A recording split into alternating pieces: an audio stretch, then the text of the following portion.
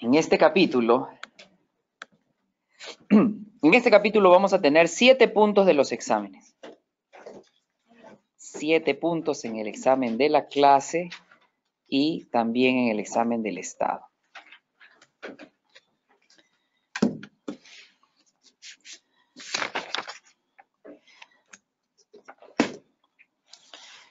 Comenzamos.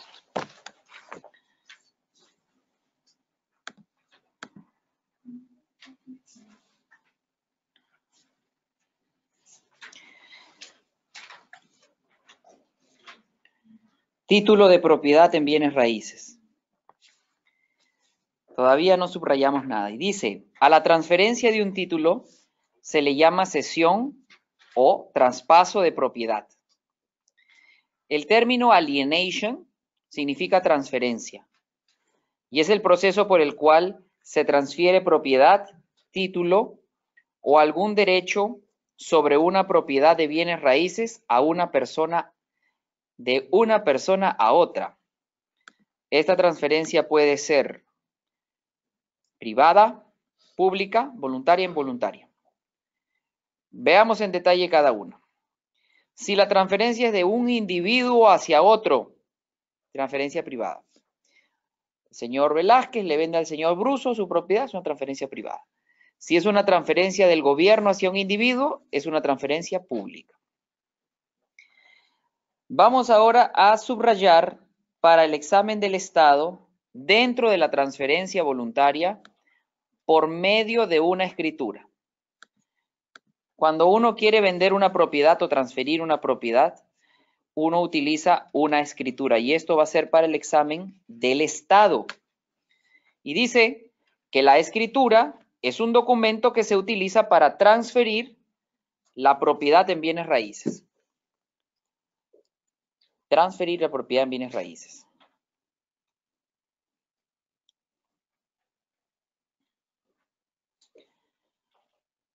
Entonces, ¿qué es la escritura? Es el documento que se utiliza para transferir la propiedad en bienes raíces. También, no se va a subrayar, pero también una transferencia voluntaria es a través del testamento, porque el dueño voluntariamente quiere que su propiedad pase a sus herederos. Ahora vamos a hablar de la transferencia involuntaria. Y esta, como su mismo nombre lo dice, es dispuesta según la ley sin consentimiento o control del dueño. Los ejemplos son la posesión adversa, la reversión, el dominio eminente. transmisión por herencia. No hay que subrayar nada todavía. La persona muere sin testamento. Intestado se llama. Sin testamento. Pero tienen herederos. La propiedad que poseía el difunto pasa a sus herederos legales. Y la ley determina cómo se tiene que distribuir la herencia. Primero la, esposa o el cónyuge, después los hijos, si no hay hijos, la esposa y si no hay esposa, los hermanos, no, los padres y si no hay padres, los eh, hermanos, y así. Hay unas categorías o prioridades. Primero va este, después el otro, si no hay este, se va para acá. Eso se llama probate. Cuando ustedes hacen este juicio de herencia, que, que es cuando una persona no tiene testamento y muere, lo que hay que hacer es un juicio, se llama probate. En nuestros países se llama sucesión intestada. Sucesión intestada.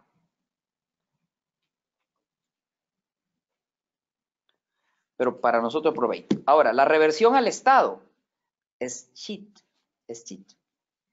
El gobierno tomará las propiedades de una persona que no tiene herederos y que murió sin dejar testamento.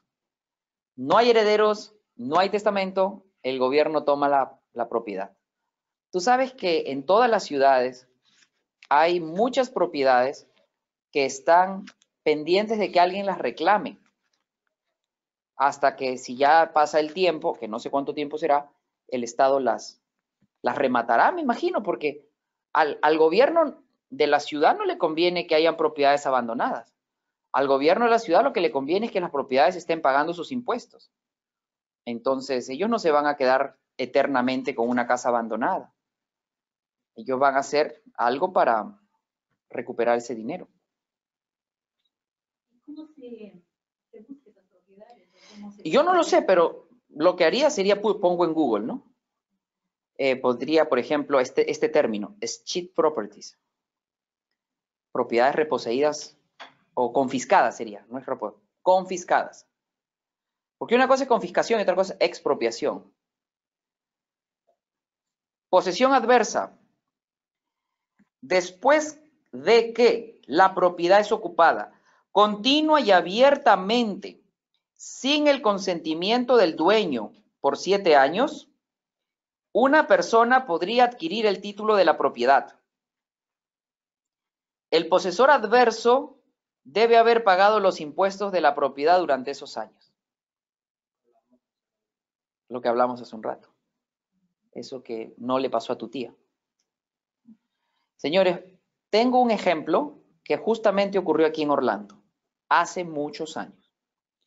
Este señor de Puerto Rico tenía una propiedad, y digo tenía porque la perdió, tenía una propiedad en Orlando que le alquilaba a un joven abogado, él. Un buen día el abogado le dijo, mira, estoy un poco mal de dinero, eh, no, te puedo pagar el alquiler, pero te ofrezco hacerme cargo, aunque sea de los gastos de la propiedad. Yo me encargo de los gastos, yo me encargo de mantenimiento, yo me encargo de los impuestos, siquiera como para colaborar, ¿no? Ok, le dijo el otro hombre, muy adinerado, no le hacía falta ese, ese alquiler, y dijo, vamos a apoyar a este muchacho. Pasaron los años y se la quitó la propiedad a través de la posesión adversa. Me lo contó de primera mano le pasó, a quien le pasó. No es que le habían contado a él, no. A él se la quitaron y la profesión del inquilino, abogado. ¿Y por qué le digo esto como énfasis? Porque yo pienso que este muchacho actuó deliberadamente desde el primer día. No creo que él haya sido genuino en su, en su petición, sino que actuó con premeditación y dijo, este se la voy a quitar y le voy a hacer este, este juego. Si soy inquilino, no puedo hacerlo, pero si no soy inquilino y, me do, y, y le pago los impuestos a la ciudad, yo se la quito y se la quito.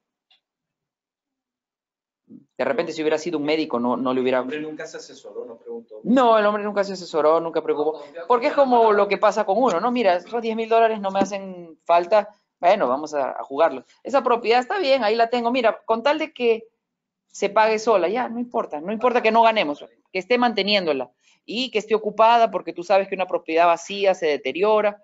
Actuó de buena fe. Se la quitaron. Me dijo, profesor, eso me pasó a mí y nos contó la historia en la clase. Así como tú nos has contado esa historia, él contó esa historia. Y justo esa propiedad está ubicada en Orlando. Pasó hace muchísimos años. Para que sepan. Posición adversa. Entonces, aquí, ¿qué vamos a subrayar? Vamos a subrayar para el examen del Estado y el examen del curso estos dos párrafos. si no le cambio de... Ah, Ajá. Y hago igual, diagonal. Aquí tenemos para los dos exámenes. Es examen del curso. El examen del curso viene hasta acá, mira. Hasta acá. El dominio eminente es el derecho que tiene el gobierno para tomar para uso público la propiedad de un individuo.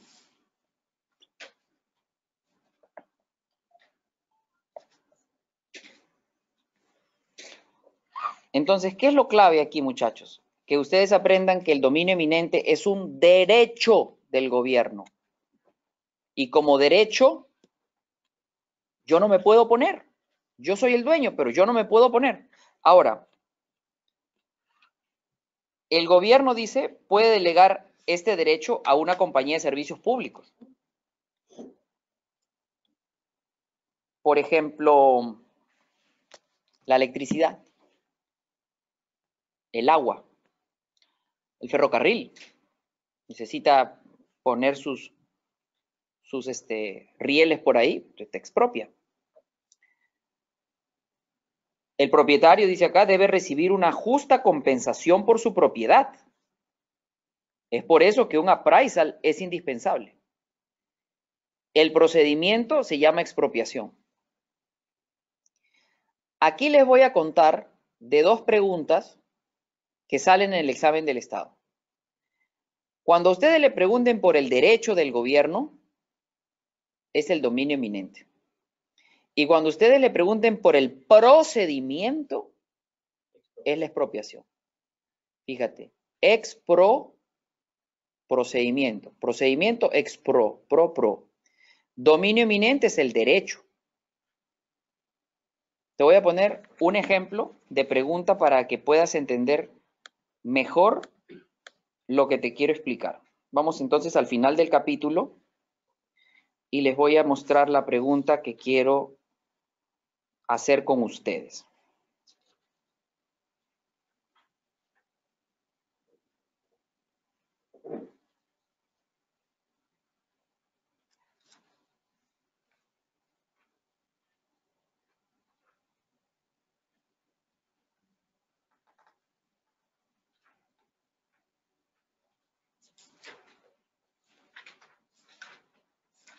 Vamos a la pregunta 20, muchachos, en la página 98. Pregunta 20, página 98.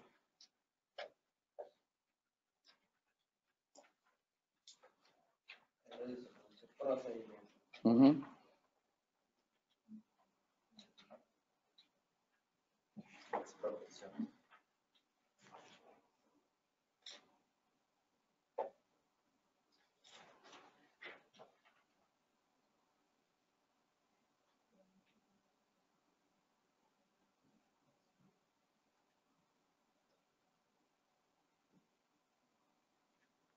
Como dice procedimiento,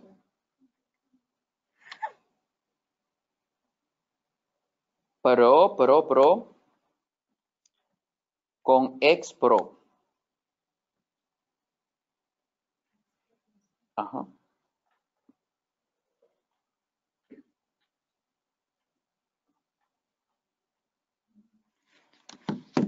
Así es como es.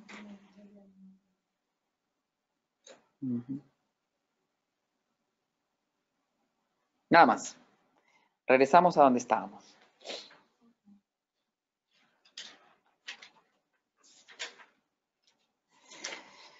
Dice acá, el dominio eminente debe ser usado para el bien común y no por intereses meramente comerciales. Por ejemplo, este derecho del gobierno no sería usado para adquirir terrenos para construir un centro comercial. Y eso es para el curso. Esta va a ser la pregunta del curso. Entonces, la pregunta del examen del, del curso le va a decir, ¿para cuál de estos no podría proceder el dominio eminente? Y ustedes van a escoger la que diga para la construcción de un centro comercial. No. Porque eso es por fines de lucro.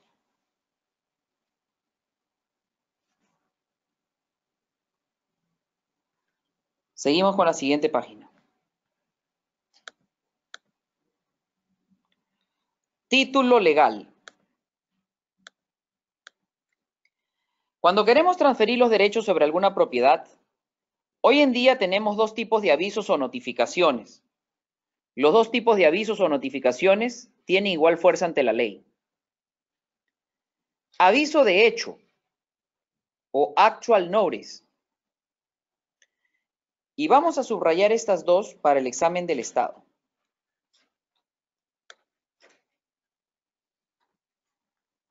Examen del Estado.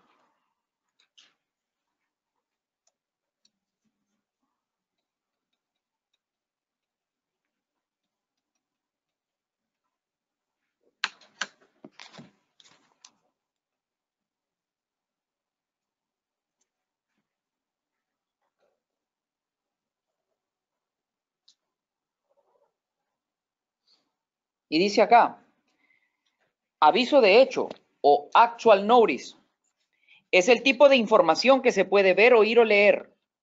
Por ejemplo, mudarse a la propiedad es una forma de aviso de hecho. Mudarse a la propiedad es una forma de aviso de hecho de que esa persona está en posesión de la propiedad. También puede llamarse notificación de autenticidad o, estas son otras traducciones que vienen en el examen, notificación de autenticidad, posesión física, sí, esos son todas, sí. Entonces, cuando ustedes tengan en el examen una pregunta que diga qué tipo de aviso es aviso de hecho o actual notice, la respuesta tiene que decir algo de mudarse a la propiedad. Posesión física. Tomar posesión física.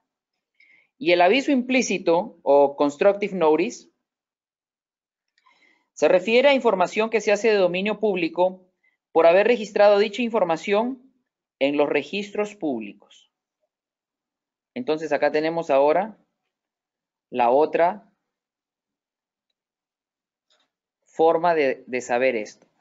Constructive Notice es sinónimo de registros públicos. Les voy a explicar. Antiguamente no habían registros públicos. Entonces, cuando alguien vendía una propiedad, tenía que hacerlo en frente de testigos. Yo me imagino que se reunirían pues en la plaza del pueblo y todos los que puedan ir tal día a presenciar cómo Winder le compra las tierras a José. Y José simbólicamente, no, no, no simbólicamente, efectivamente le entrega las escrituras, un rollo de papel, le entrega las escrituras a Winder. Eso era como al portador en esa época. Había que esconder las escrituras porque eso era como que al portador. El que, el que tenía las escrituras era el dueño. Era como que al portador, no sé. Pero, pero esa era la forma, porque no había ningún lugar donde uno iba y registraba la transacción como hay ahora. Entonces, en el futuro, cuando José le quería quitar las tierras a Winder, ustedes salían y saltaban y decían, no, se lo vendió, yo lo vi. O mi papá lo vio, y mi papá me contó que eso se lo vendió hace muchos años, o sea, se lo había vendido a la familia de, de Winder y ta, ta, ta, y ta. Esa era la forma. Solo había aviso de hecho, solo había ese. Ahora ya somos más sofisticados. Ahora tú compras una casa y tú no tienes que ir a ninguna plaza ni, ni poner en el, en el periódico, mira, yo soy el dueño de esta casa, me la compré, mira que estoy por acá por Facebook. No. Tú en la compañía de títulos firmas y la compañía de títulos, ni eso hace uno. La compañía de títulos se encarga de registrar tu escritura en los registros públicos. Y tú puedes ver, no sé si ustedes saben, con la dirección, quién es el dueño de la casa. Entonces, vamos a mirarlo, mira. Tú vas aquí, vamos a Google, por ejemplo, ¿no? Y vamos a hacer así, ver. Public Records Orlando.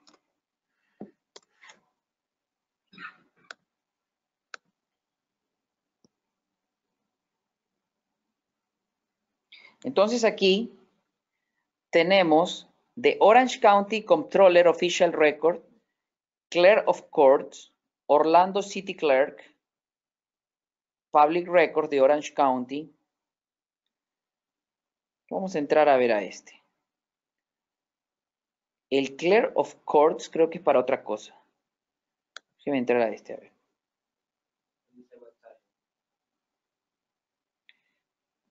Search Official Records.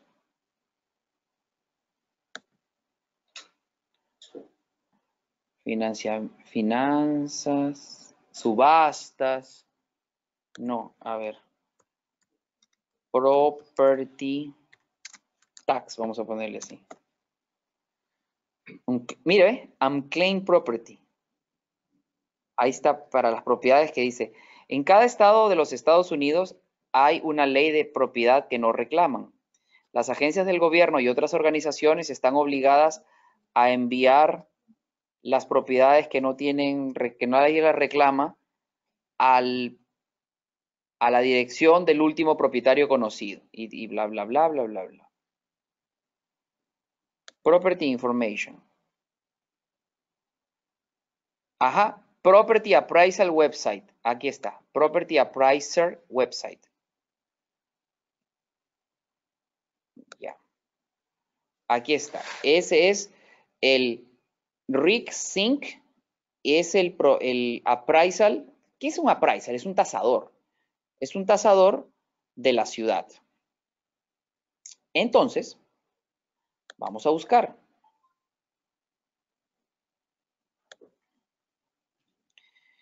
Deme una dirección de Orlando. ¿Qué dirección? 10, 5, A ver, vamos a ver acá. 10, 5, 16. 10, 5, 6, 16. 10, 5, 1, 6. Bastille, ¿Con B pequeña o B grande? B alta. Bastille, Bas- con doble L. Bastille, Bastille. Lane, LN. Bastille Lane. Ajá. ¿Algo más? Eh, número 201. Número 201. ¿Algo Orlando. más? ¿Qué zip code me tienes ahí? 328. Vamos a poner así. 32, 8, 26. 36. 36. 38, 36. Y ponemos aquí, buscar. El 10516 Bastille. Vamos a ver aquí otra dirección. A ver, vamos a poner aquí otra dirección. Search. Property name, condo unit. Ah, claro. Sí, claro. Vamos a ponerlo otra vez. Ceros 105, Ajá. 10, 5, 16. 16. Bastille. Bastille LN. Lane. Owner, no, no sabemos. Ya, pero acá podemos condo unit 2, 101. 101. Ah, 201, ok, correcto. 201. Sí. ¿Y qué más? ¿Sabemos subdivision? ¿Condo, no? Eh, Vamos a dejarlo así, vamos a dejarlo así, a ver, a ver qué nos, qué nos... No, vamos a ver otro search, pero, pero aquí debe haber algo. Aquí debe haber algo que yo estoy haciendo mal, porque ahí dice property address. Ah, mejor así ve. Mejor así ve. 10, 5, 16. Correcto. Bastille Lane. Y entonces acá tengo que buscar Lane. Y unidad 201. Ahora. No, no. Está viviendo ahí un existe. Vamos a utilizar otro. ¿Te A ver, vamos a poner aquí. 12, 8, 55. Ah, pero sí. ¿Cómo era? Multipart. 12, 865. 855. Madison Point Circle. Madison Point. Y acá, Circle. ¿Alguna otra cosa que sepas? Subdivision, En apartamento 101. Condo unit 101. Orlando, Florida, 32821. No, no me da, no me, no, no ¿Sale necesita. Aquí está, mira. Entonces acá tenemos la unidad 101, es la primera. Ah, ese es el dueño. Y este es, y este es el dueño. Ajá. Pues él y su esposa. Exacto. Entonces él, por ejemplo, Luis Irizarri y Evelyn Burgos. Y este es el, este es, piso, el- al lado de mi casa. acá ve. Sí, ahí. Ya todos saben dónde vive. Ujú. Ahora sale el dueño entrando a la a la casa. Y acá está lo que él paga de property taxes al año 1516. Y acá está la, la valoración.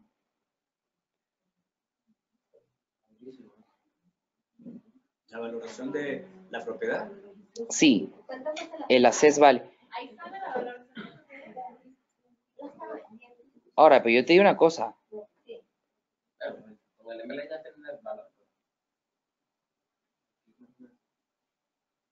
Él la tiene declarada como su homestead, ¿ah?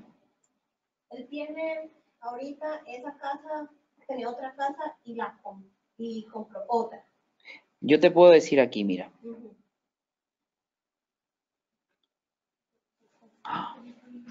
Physical address y mailing address. Wow, A él el correo a mi casa. ya. Este señor está haciendo trampa. Ajá, porque los Él, él tiene, porque él está declarando esta casa como homestead. Mira acá las, las excepciones de 25 mil. Original homestead, additional homestead. Si a él lo descubren, le van a cobrar retroactivo lo que se ha ahorrado más una multa del 150%. O sea, que debe Pero él- 25 él-. Para la ciudad, o sea, originalmente él me imagino que vivía ahí. Sí, él vivía ahí, se compró y se fue. Y se a fue. vivir en el mismo condominio. Ahorita, eh, ahorita está rentando esa casa que compró y se compró otra casa ya para vivir. en otro lugar. Pero el, el homestead lo ha puesto aquí con su esposa. Ahí dice original homestead. Sí, y-. Y additional homestead. Es esa casa. Pero ¿cuánto le, cuánto le- Porque acá dice tax savings, ¿ves? Y acá estamos hablando de las excepciones. Mira, acá están las excepciones. Él se está ganando sus excepciones aquí. Por eso es que no la puede cambiar. Y mira lo que dice, ¿ah? mira lo que dice acá. Your property taxes without exemption would be 2.754 al año. al año. Y él está pagando 1.526. O sea que se está ahorrando mil y pico de dólares. Ese es parte del beneficio, ¿no? Por tener, por ser homestead. Claro, es- es- está ganando allí. Y yo, y yo acá no estoy haciendo nada ilegal, ¿sabe por qué? Porque estos son public records en Estados Unidos. Esto cualquier persona puede acceder a través de Internet. Sí, sí, usted no contraseña ni nada. Nada. Entonces, La persona, la persona que alquila una propiedad tiene que quitarle el homestead a la propiedad. Eso no es automático. Eso uno tiene que ir y decir, mira, ya yo no vivo ahí, quítale el homestead. Eso no tiene nada que ver contigo, ¿ah? por si acaso. Contigo no tiene nada que ver, pero es una inquilina, tú no tienes nada que ver con eso. Si el señor está comprando otra casa, ¿no aparece? Va a aparecer la otra casa del señor. Yo lo podré ver por, por, por nombre de él. Podría verlo por su nombre.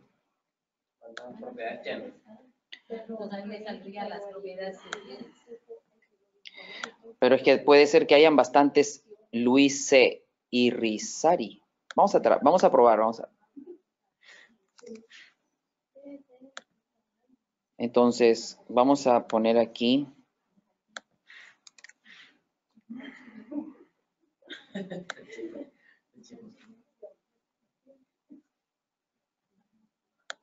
Creo que tengo que poner solamente un nombre.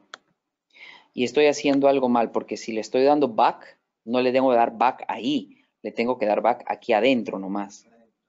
Porque cuando me, está botando de toda la página. Entonces, Luis C. y Rizari.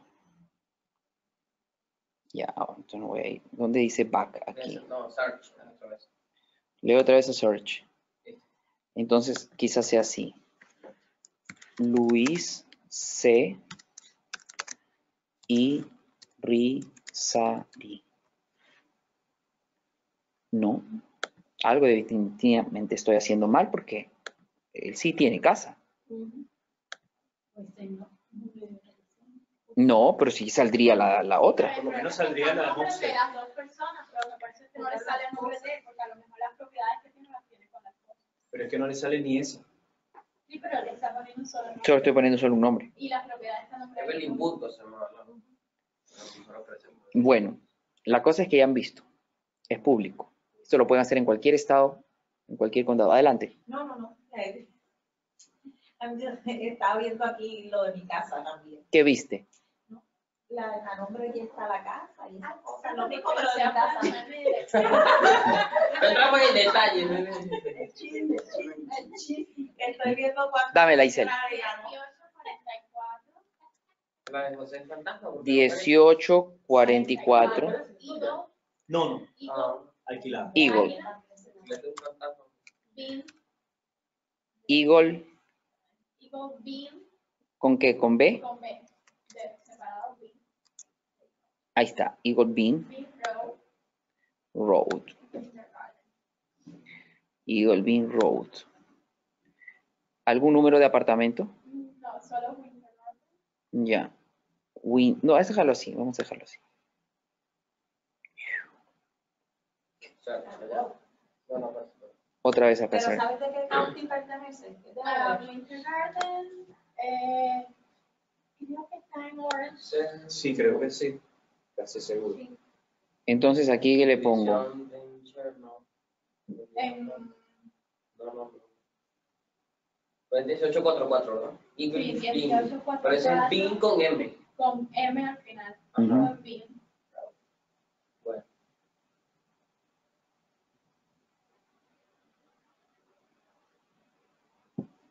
¿Saben? No es, no es amigable este sistema. Porque claro, tú en, tú en Broward County, por allá abajo, pones así exactamente como acá y sale todo.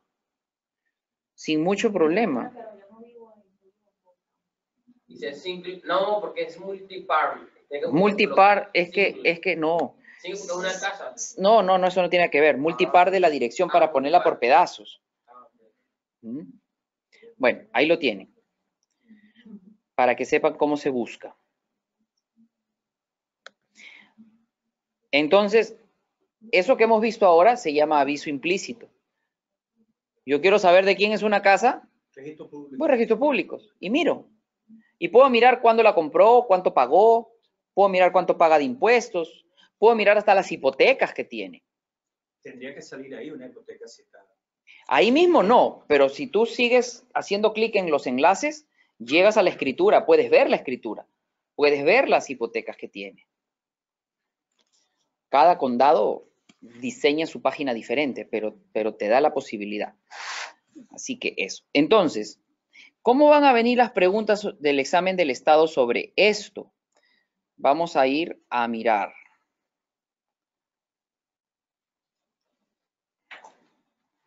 A ver, la pregunta 10 para comenzar.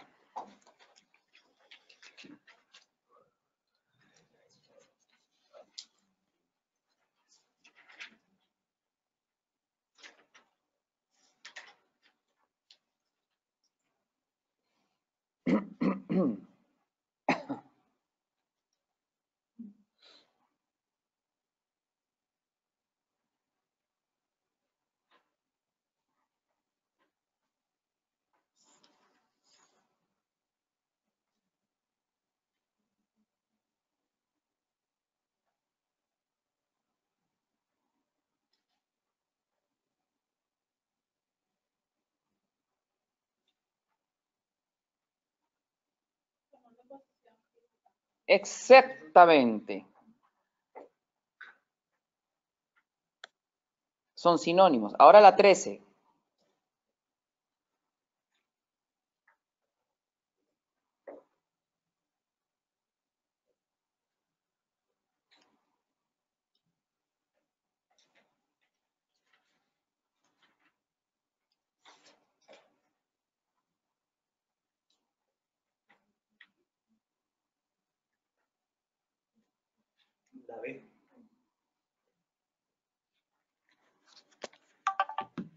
Correcto.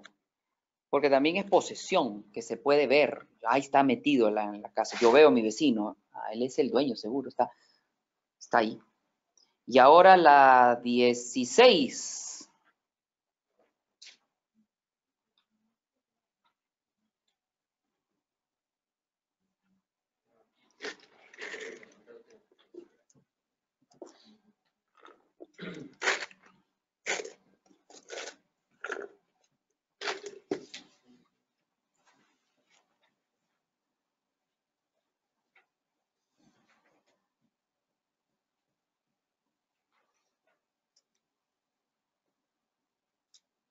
También. Correcto. Aviso implícito o constructive notice. Las palabras claves es registros públicos aquí. Registros públicos siempre es aviso implícito, pero yo les recomiendo en este, en este tema que se aprendan los términos en inglés. Actual notice, mudarse a la propiedad. Constructive notice, registros públicos. Dora, se te ilumina la mirada. ¿Tú, tú has visto esto en el examen?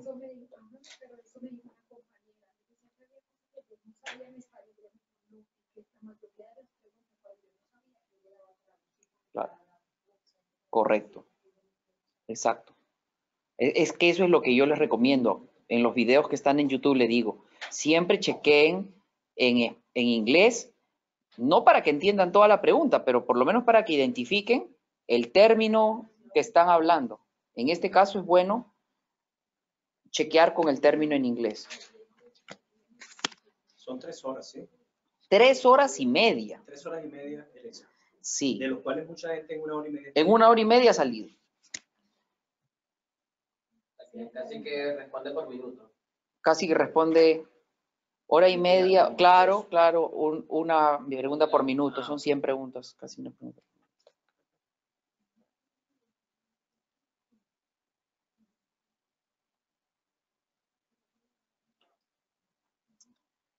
Ahora vamos a hablar de la condición de título y vamos a subrayar la cadena de título para el examen del Estado.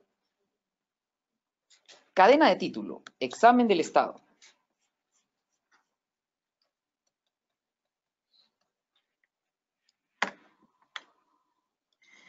Es la historia completa de las transferencias que se han hecho de una propiedad. Muestra las personas que han poseído la propiedad. La cadena de título muestra quiénes han sido los dueños. Y se dice cadena porque cada dueño sería como un eslabón. Nada más de esta parte. Ahora nos vamos a un poco más abajo, aquí mismo.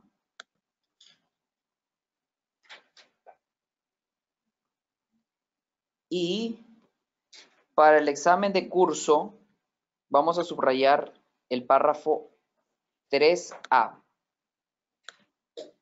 Examen de curso.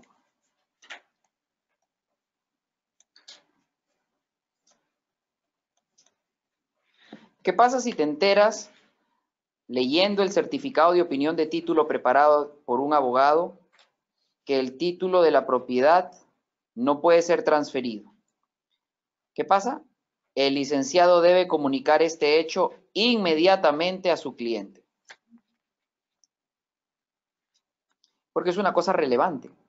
En el capítulo 4, don- dentro de las tareas de un corredor de transacción decía, notificar todos los hechos relevantes conocidos que no se puedan observar fácilmente. Yo cómo voy a observar fácilmente un defecto de título? Eso me lo tienen que decir. Bien, hablamos ahora del seguro de título. Seguro de título. Y este seguro de título lo vamos a tener para el examen del Estado y de la clase. Vamos a ver primero lo que es Estado. Examen del Estado es párrafo 4A, 4A y 4B. Esto es examen del Estado. Y 4C es examen del curso. Vamos a poner aquí. Esto es para el examen del Estado. Esto es para el examen del Estado. Y esto es para el examen del curso.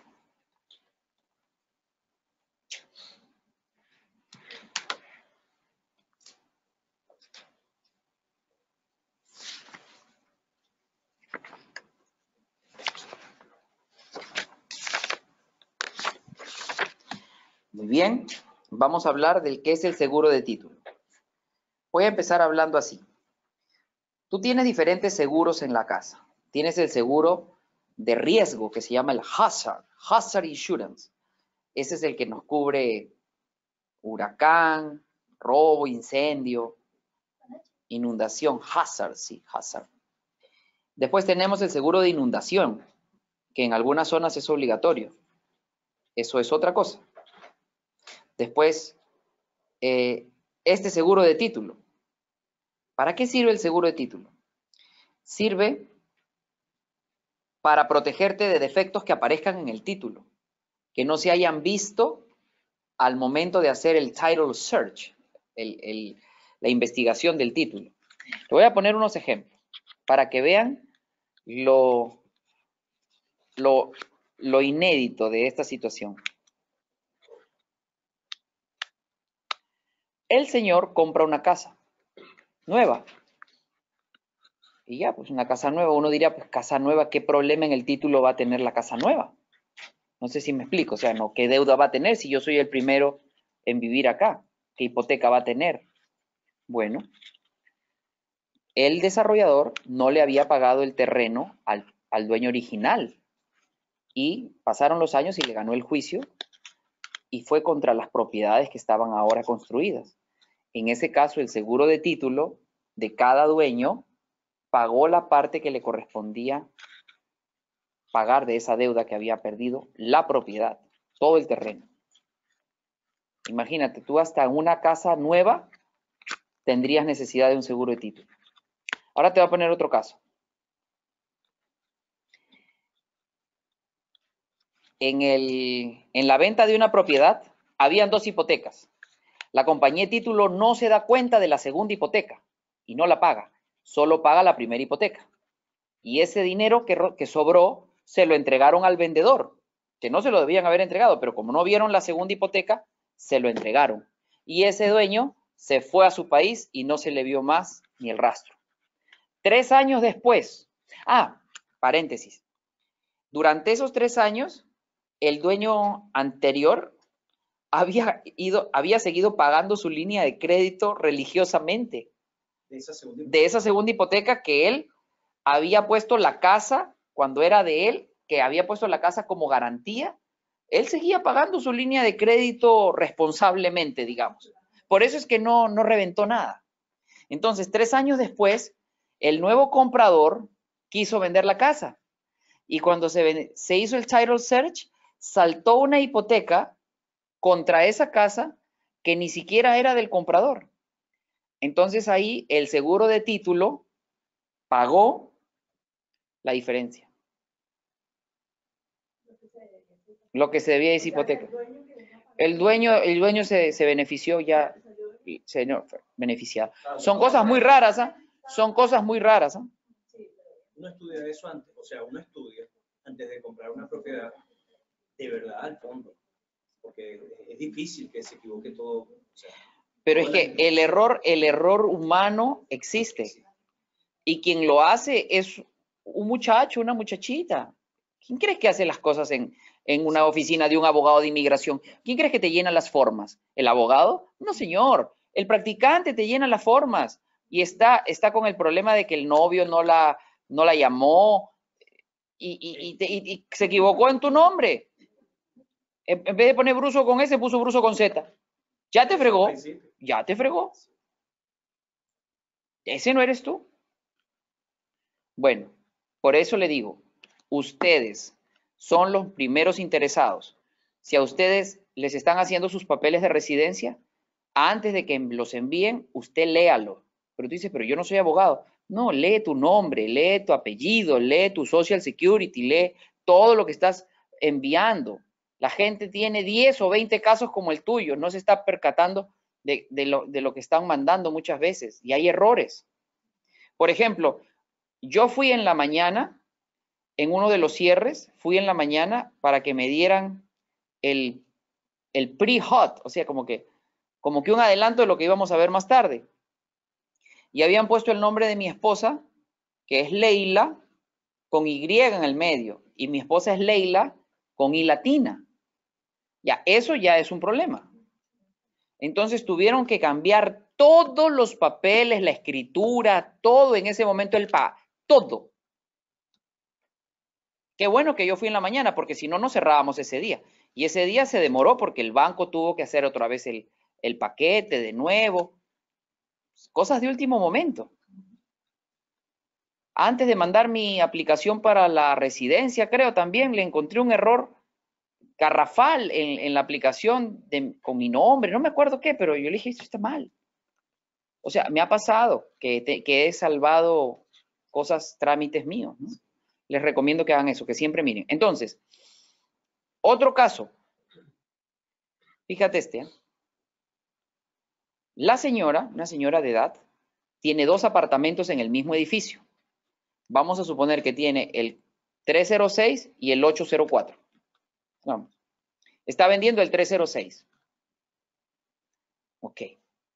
La compañía se equivoca, la compañía de títulos se equivoca y le manda a pagar el mortgage del 804, que es el que no vendió.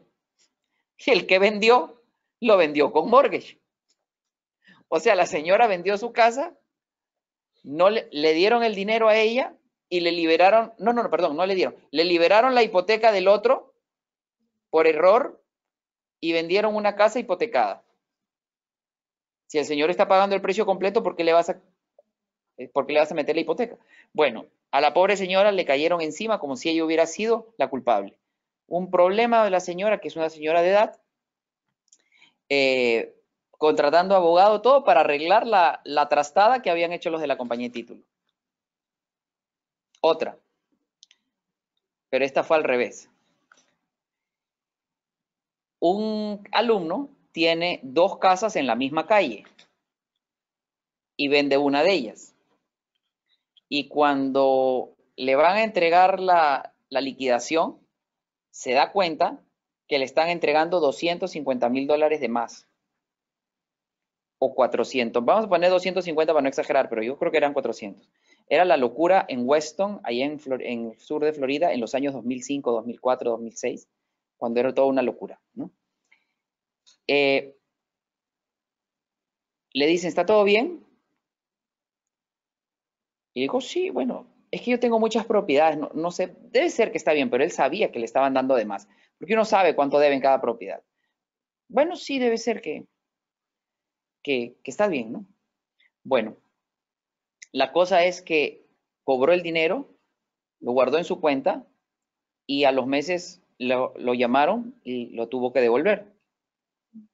Así es como yo contaba la historia. Hasta que años después me lo encuentro, pero años, ¿ah?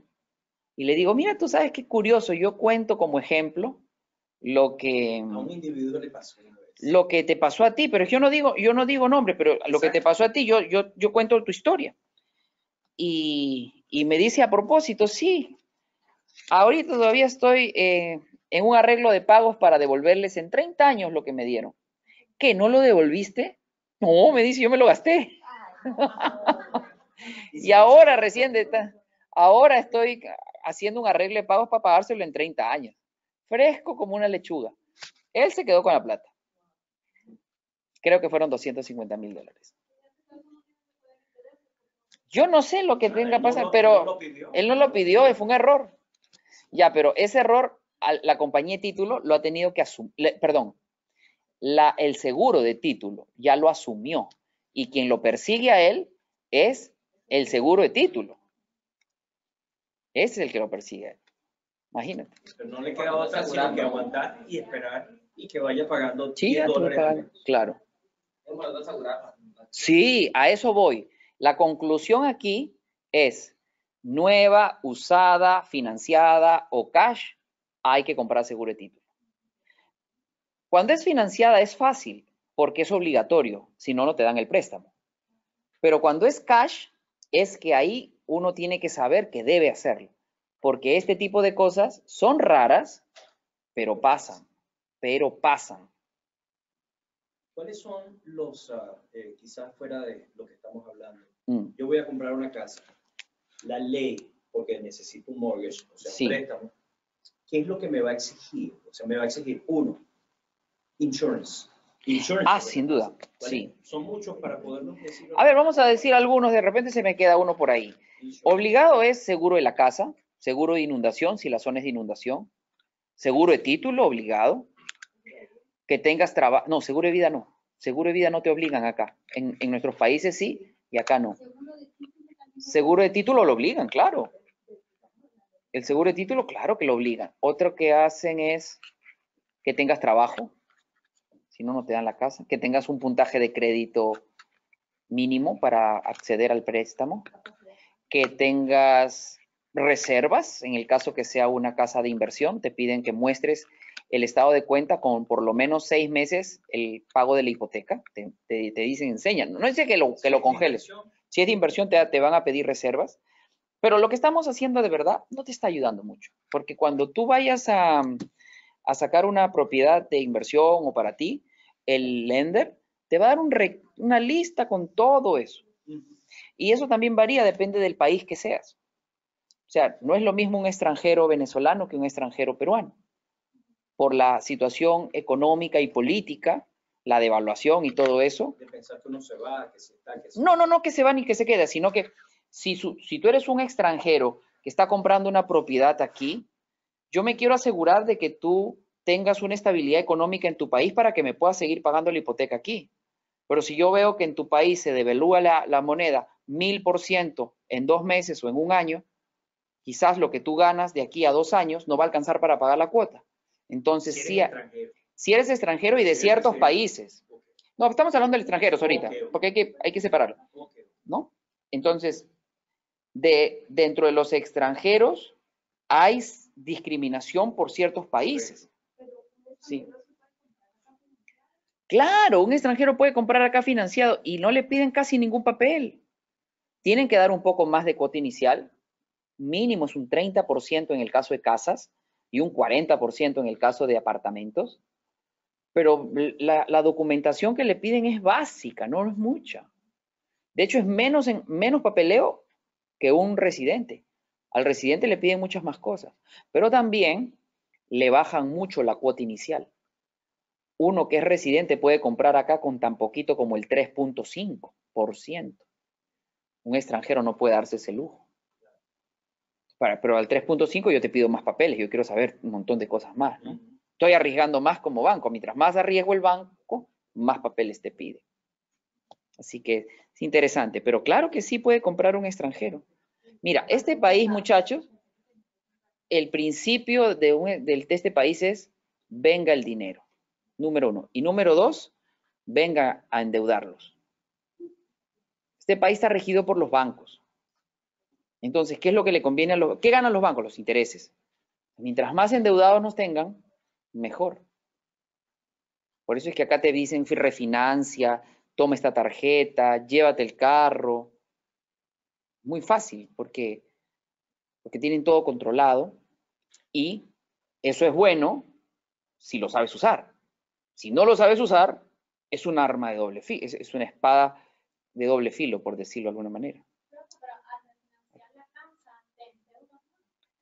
Claro. Porque al refinanciar la casa, lo que haces es te cobran otra vez los fees. Y vuelves a cero, vuelves otra vez al año uno. Pero, ¿cómo si, si, por ejemplo, tenías la casa en un pago de 30 años y la dejas en 15? No, pero mira, fíjate esto. ¿ah? Tú pagabas dos mil por tu casa. Dos mil. Vamos a suponer. Y ya tenías pagado 10 años, te faltaban 20. Y te dicen, refinancia y te bajamos tu pago a 1800. Y tú dices, wow, me voy a ahorrar 200 dólares mensuales. ¿Está bien? Eh, en, la, en el préstamo original ya debías 200 mil. Te faltaban 20 años. Pagabas 2.000. En el nuevo préstamo vas a pagar 1.800. Pero debes 2.100. Dos, perdón, pero debes dos- 210.000. Y empiezas del año 1. A no ser que te hagan un refinanciamiento de 20 años nada más. Pero igual, te cobraron 10 mil dólares de gastos que tú no los vistes porque se los comieron de tu equity. Entonces, antes debías 200, ahora debes 210. Ajá, pagos 1.800, que son 200 dólares menos. Yo te pregunto, ¿cuántos meses tienes que pagar 1.800 para que ese ahorro de 200 dólares mensuales compense los 10.000 que ya te comiste de tu, de tu equity? 50 meses tienen que pasar. Pero ¿qué pasa? Antes de 50 meses, que son cuatro años, seguro que vas a querer otra vez refinanciar. Y entonces nunca, nunca progresas realmente. Porque acá tú compras una casa y a los tres meses ya te están diciendo refinancia. Refinancia y refinancia. Y es, y es una matemática simple, pero la gente no entiende. La gente solamente dice, ¿cuánto es la cuota? Y lo otro es, eh, ¿cuál es la tasa? O sea, si, si estoy pagando una tasa alta y tú me dices refinancia, pero voy a pagar un tercio de la tasa que estaba pagando al principio, pues entonces puedes pensarlo. Pero no solo eso, sino también cuántos son los gastos de cierre. En los gastos de cierre hay un, dinero grande que a veces no, recomiendo. Yo lo que recomiendo es no refinanciar tan rápido, como regla general. Te voy a poner un ejemplo que lo va a, lo va a mostrar claramente. Si tú te compras un carro cero kilómetros y lo vendes a los 10 meses, ¿vas a perder o no vas a perder plata? Si tú a los 10 meses vas al dealer y le dices, dame otro carro nuevo, ¿vas a perder o no vas a perder plata? Ya, eso es refinanciar. Refinanciar rápido es como ir con un carro del año que tiene un año de antigüedad y comprarse otro del año, cero kilómetros. Eso, eso que pierdes se llaman gastos de cierre. Y eso no se ve porque se lo comen de lo que tú has pagado ya. No ves que tú no, tienes que sacar el dinero de tu bolsillo, sino que ellos lo, ellos lo muerden de lo que ya habías abonado. Es increíble. Acá por eso también te dicen, deja tu carro y te damos otro. Pero ahí tienes un balance negativo, que te lo suman a la deuda del carro nuevo. O sea que tú ahora debes más de lo que vale tu carro. Tú terminas debiendo más de lo que vale tu carro. ¿Por qué? Porque ellos, así funcionan estos, estos préstamos, el saldo que no pagaste del carro que dejaste, te lo suman al, a la deuda nueva. Y ya cuando no puedas te dicen, no, mejor no financies eso, haz un lease. Para que puedas pagar más o menos la misma cuota. Y al final no tienes nada. Después llegas a, a, te digo casos de la vida real, llegas a la Mercedes y te dicen, oye, mira, hay que cambiarle los frenos a la camioneta. Son cuatro mil dólares. Yo te recomiendo que te saques otra mejor. Deja ese y Deja esa y llévate otra. Pero no tengo nada para dar, sácala como lease. Y esta era financiada. Y ya que habías avanzado un poquito en, en, en comprarte tu carrito, ahora ya no tienes nada. Gente muy ignorante financieramente. Muy ignorante financieramente. Yo lo último que haría sería llevar a mi carro al dealer a que le hagan algo. Sea, lo último que haría, y, y más a los dealers europeos. O sea, yo le cambio lo que sea en otro, en otro taller de marca, pero no el dealer. te sacan el 200% mínimo más. Yo no voy al dealer para nada. Es más, por eso me gusta Tesla, porque no hay rebaja ni nada. El carro vale tanto, el carro lo pago. Y el carro no tiene aceite, no tiene bujías, no tiene pistones, no tiene bomba de agua, no tiene radiador, no tiene caja de cambios,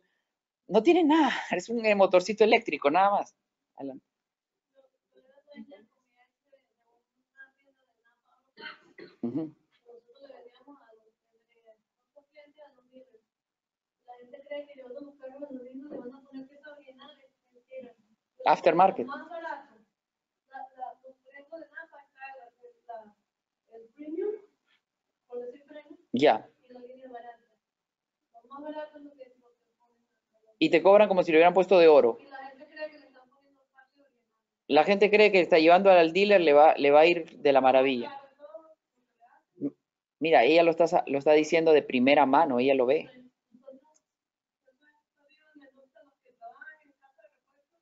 Saben que los dealers ponen piezas aftermarket también. Y no solo eso, sino que te cobran como si fuera, sí. y la, y la más baratita. Y esa es la que compra, la más barata. Imagínate.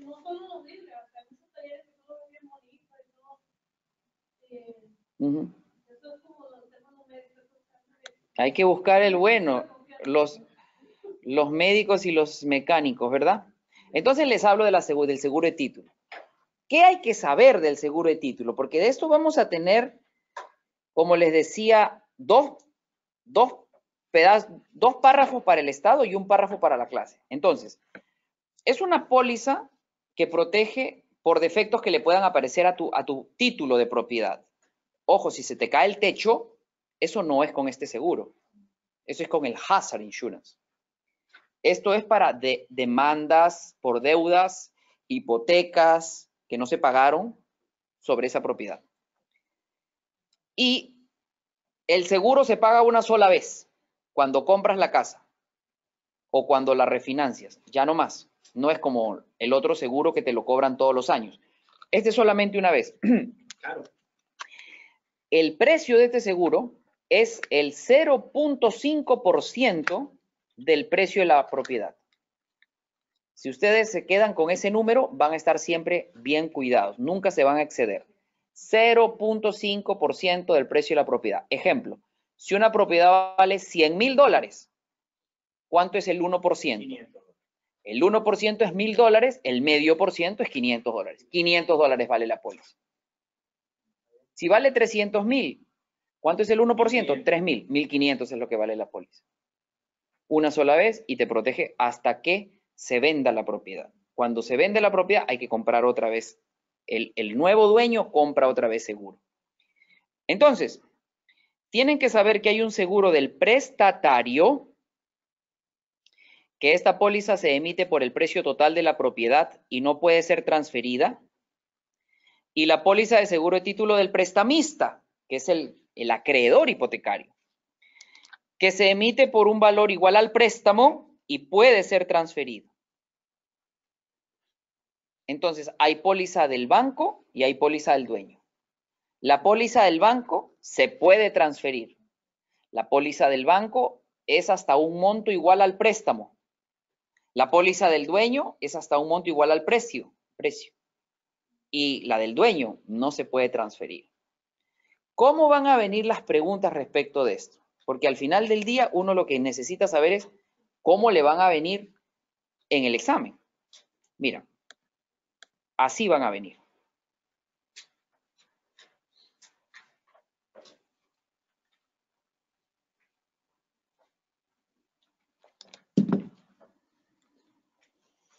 Vamos a la pregunta 17. A ver, muchachos, dos minutos para esta pregunta. Háganla mirando su, sus notas.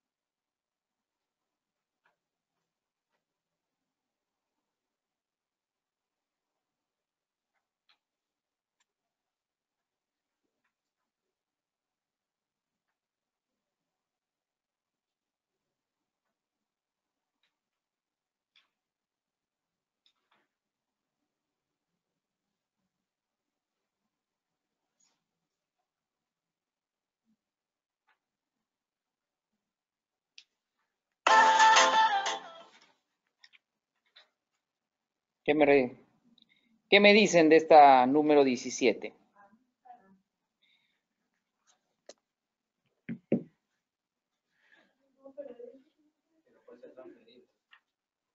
Pero, pero, pero, pero, pero, pero, pero, dice verdadero, ¿verdad?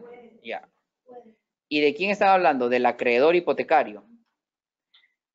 El acreedor hipotecario es el prestamista. Y entonces, sí es la A. Sí es la A. Ahora quiero que vayan a la pregunta 21. Vamos a la pregunta 21.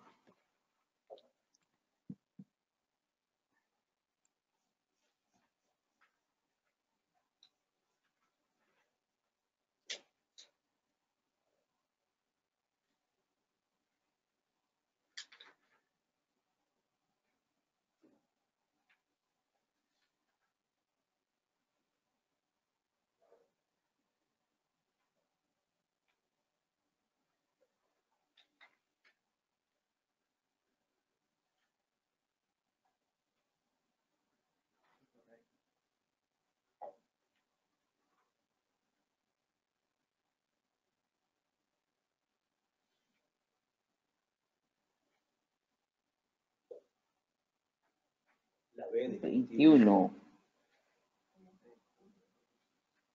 Tenemos que... La 21. La 21. Ahora queremos algo incorrecto. La C. Lo incorrecto es que la póliza de seguro de título del prestamista no es transferible. ¿Por qué? Porque sí es. Ese es... eh, ¿Tú, Dora, reconoces alguna de estas? ¿No te vinieron en tu examen? No te acuerdas. Está bien, ¿no? Tenemos que ser así. Vamos ahora a subrayar lo que nos tocó para el examen de la clase, que es el párrafo C. El párrafo C es para el curso.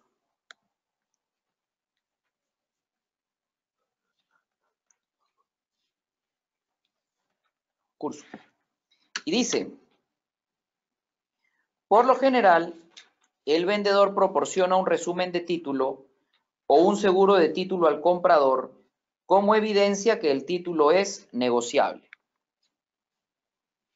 Así que eso. Hay que saberlo nada más. Esa va a ser una respuesta de una pregunta. Te van a poner, ¿qué de lo siguiente es verdadero?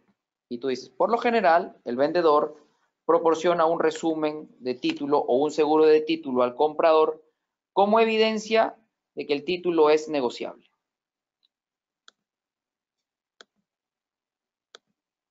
Ahora, vamos a las escrituras. Ya sabíamos que la escritura es un documento para transferir la propiedad en bienes raíces. Vamos a subrayar todo hasta el número 2 para el examen del Estado. Estado.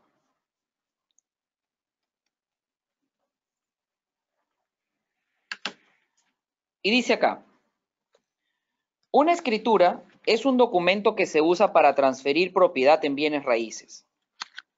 Ya sabíamos. O sea, cuando uno quiere transferir una propiedad, usa una escritura. Y las dos partes de una escritura son el otorgante o grantor. Grantor. Apréndanselo en inglés. Grantor. El propietario es el grantor. ¿Quién es? Es el propietario traspasando el título. Y el que recibe, ahí abajo en el número 2, es el receptor, que se llama grantee. Grantee. Es el nuevo dueño, es el que recibe la propiedad. Y mira, esto es para el examen de la clase. Número 2, el receptor no necesita ser competente. Esto es para el examen de la clase. Cuando le dicen de competente, o sea que no necesita ser competente, tenemos que ver qué definen ellos como alguien competente. Alguien competente para este tipo de transacciones es una persona con edad legal para hacer contratos, que es 18 años. Y esta persona tiene que encontrarse en pleno uso de sus facultades mentales. Entonces, tenemos dos requisitos para que sea un, un receptor competente. Tiene que ser mayor de edad. No, mayor de edad no se puede decir porque acá es 21 la mayoría de edad. Tiene que ser mayor de 18 nomás. Y que esté en uso de sus facultades mentales. Pero el que recibe, el que recibe puede ser menor de 18. El que recibe puede, puede ser una persona que no está en su sano juicio. El que recibe, no el que vende. El que vende sí, mira lo que dice. Para que una escritura sea válida, mira lo que dice acá arriba, debe ser firmada por quién? Un otorgante competente. Y firmada por dos testigos. Tienen que aprender eso de memoria. Te van a preguntar específicamente por una escritura válida. ¿Qué necesita una escritura para ser válida? Te pregunta el examen. Dices, firmada por el otorgante competente y dos testigos. Te pregunto, ¿cómo se dice otorgante en inglés? Grantor, grantor. Tiene que aprenderse eso de memoria porque las traducciones de grantor son increíbles de, de lo, que, de lo mal que, es- que se traduce. Te lo ponen en español. Te lo ponen en español, todo te lo ponen en español, pero ¿qué español? Entonces, para este tema, yo le recomiendo cheque en inglés. Grantor es el que vende, es el dueño. Y grantee es el que recibe. Ahora, yo les puedo enseñar un poquito más, no sé si sea demasiado. Cuando termina en or, or, grantor es el que da. Y cuando termina en ee, i, es el que recibe. Entonces, el grantor es el que da la escritura y el gran T es el que recibe la escritura. Rece- es el receptor. Or es entregar, el que da. Entonces, ya está la escritura válida. B. La transferencia de la propiedad se da cuando el grantor entrega la escritura al receptor, que es el gran T, y este último la recibe voluntariamente. Entonces, para que haya transferencia, tiene que haber entrega y aceptación voluntaria. Ahora, número, letra C. Todo esto es para el examen del Estado. Para que la escritura, además de ser transferida, pueda ser registrada, ¿dónde se registra? En los registros públicos. Debe ser Además de los pasos anteriores, la escritura debe ser reconocida ante un notario público. O sea, yo no puedo registrar en los registros públicos una escritura que no haya sido notariada. Y el reconocimiento o el acknowledge es la declaración formal hecha ante un notario público que la firma de la escritura o de algún otro documento es un acto libre del grantor. Todo esto van a ser preguntas del examen del Estado. Y yo quiero que ustedes me acompañen a resolver las preguntas. Apunten estos números, muchachos. 2, 7 y 9. Vayan al final del capítulo y vean estas preguntas 2, 7 y 9.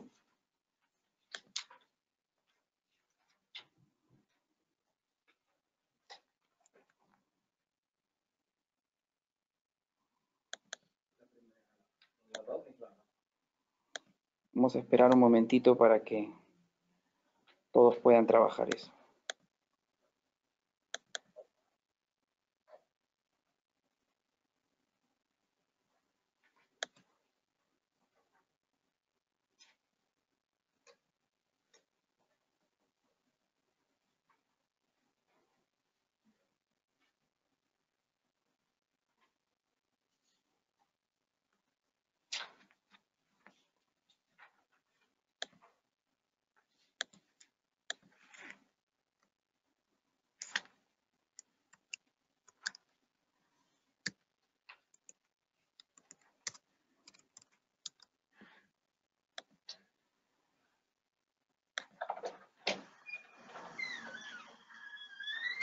Hablando de una empresa que está registrada para hacer corretaje de bienes raíces,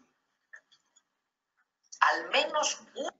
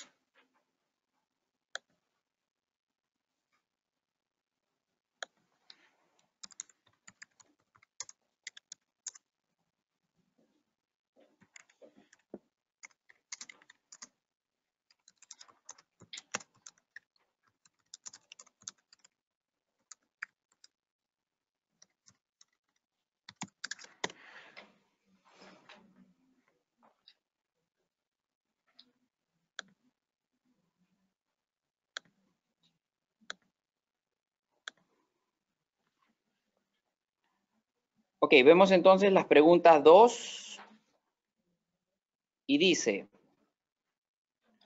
la propiedad de un bien inmueble en realidad se transfiere del otorgante al receptor. En vez de otorgante vamos a ponerle en inglés, grantor. Para acordarnos de memoria esto, grantor. Al receptor, grantee. Cuando la escritura es Notariada y registrada. notariada y registrada. Letra A, un punto. ¿Alguien más que diga?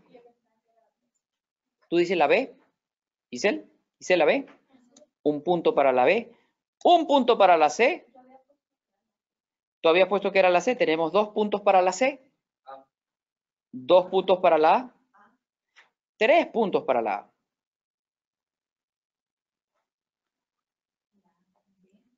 La B, dos puntos para la B. ¿Alguien le gustaría recoger la D? Está ahí botada. Señores, la palabra clave, acá es transfiere. Y yo les había dicho que era cuando era entregada y aceptada voluntariamente. ¿Quién mete notariada? ¿Quién dice que el receptor tiene que firmar? ¿Quién dice que tiene que testificar? ¿Quién dice que, que el receptor firma? No inventen.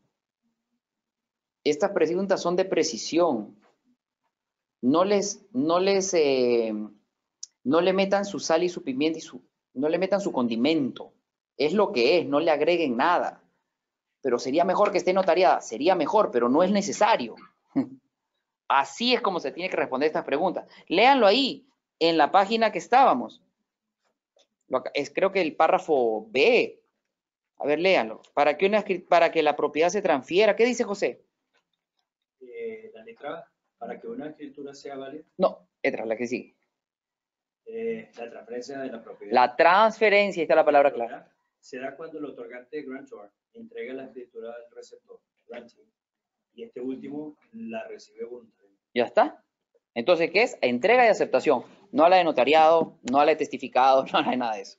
Bien, en la primera han fallado, pero eso no va a ser así en la número 7. Una escritura debe ser reconocida, dice acá. ¿Cuál es la respuesta correcta? ¿Cuál es? La D. D, dos, tres puntos. Sí, es la respuesta, para que pueda registrarse. Para eso hay que hacerla. recono- y reconocido es igual a qué? A notariada. Notariada. Reconocido notariado.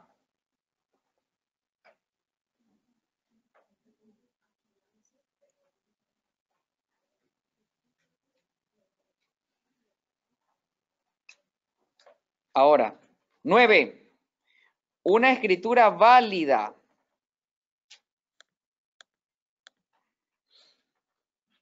debe Tener firma de un otorgante competente. Correcto. La C. Hay que aprenderlo.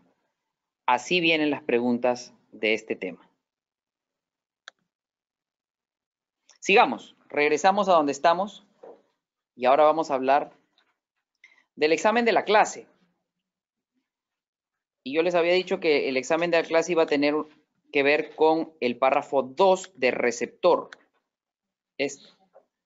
Lo que tienen que saber es que el receptor no necesita ser mayor de edad. Puede ser un menor de edad.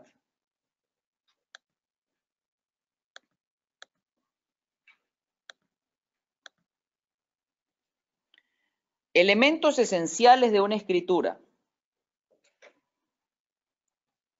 Vamos a subrayar este párrafo que el receptor no necesita firmar el título de la propiedad. Esto es para el examen de la clase.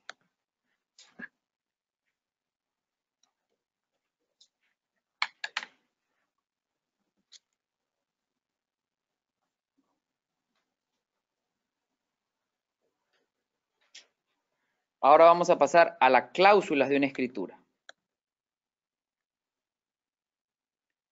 La cláusula de una escritura. Subrayamos la número uno con A y B para el examen del Estado. Este es examen del Estado.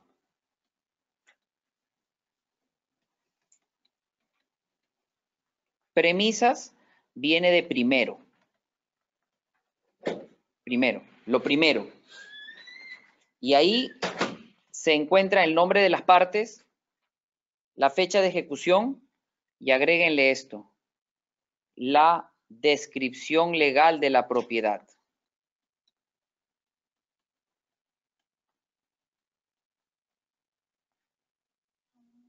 La descripción legal de la propiedad. Así es. En esa sección de las premisas, que es lo primero, vas a encontrar el nombre de las partes, la descripción legal de la propiedad, la fecha de ejecución.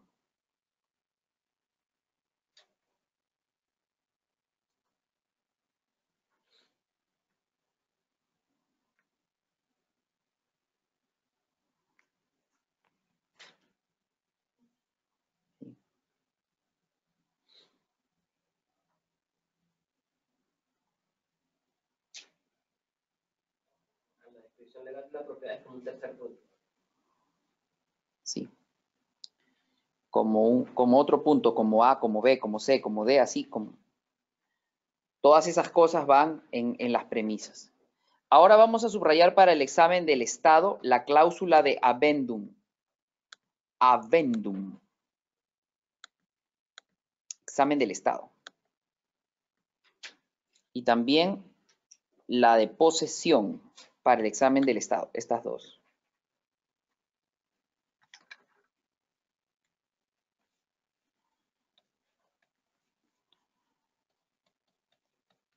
Estado y Estado.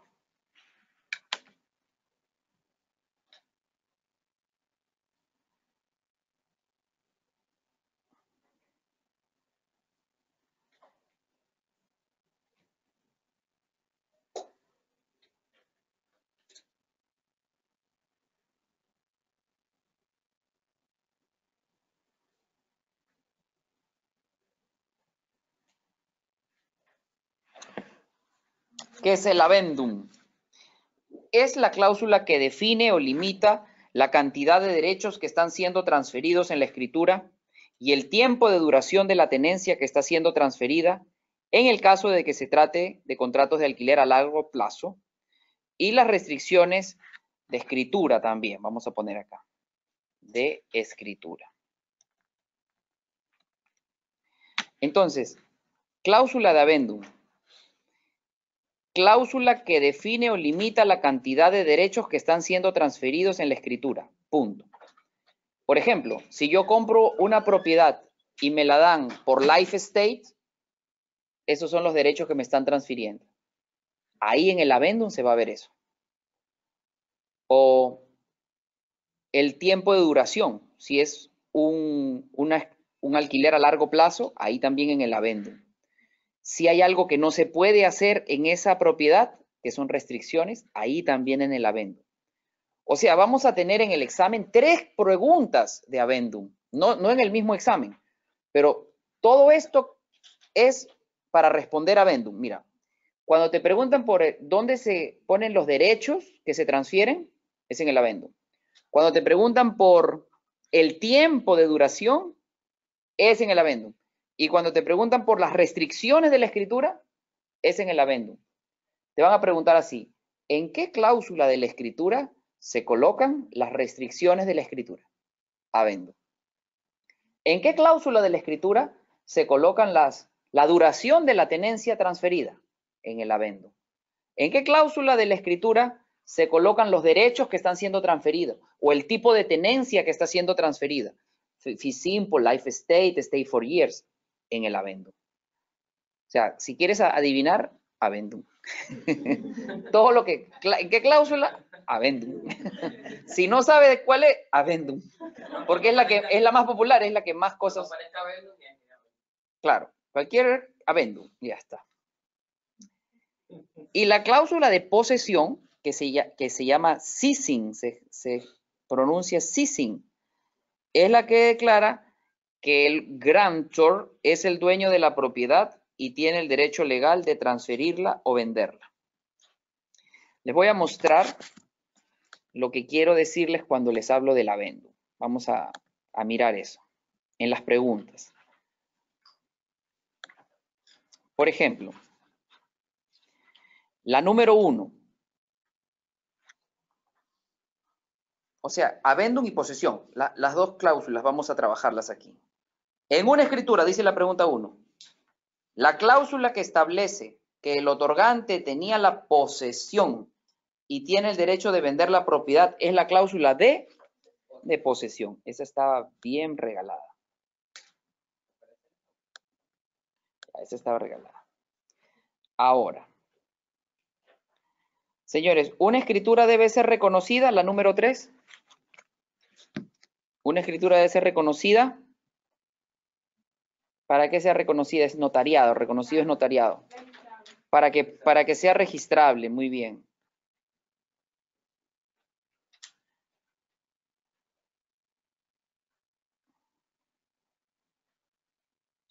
Ajá, número 5. En una escritura, la cláusula que contiene el nombre del otorgante y la descripción legal. Nombre del otorgante y la descripción legal. ¿Cuál era? No me acuerdo, dice. Avendum, claro, esa es una buena forma de adivinar. Avendum, no, no, no, Avendum no es. Ustedes lo acaban de escribir. Lo acaban de escribir.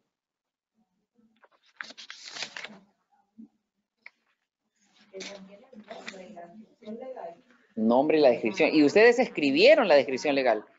La A es la, transfer. Ahí está, mira, ahí está, premisas. La D, cláusula de premisas, cláusula de transferencia o de premisas. La relación 11, 11, 11, 11, la relación completa de todas las personas que han sido propietarias de una propiedad es conocida como Cadena de título. la cadena de título, claro.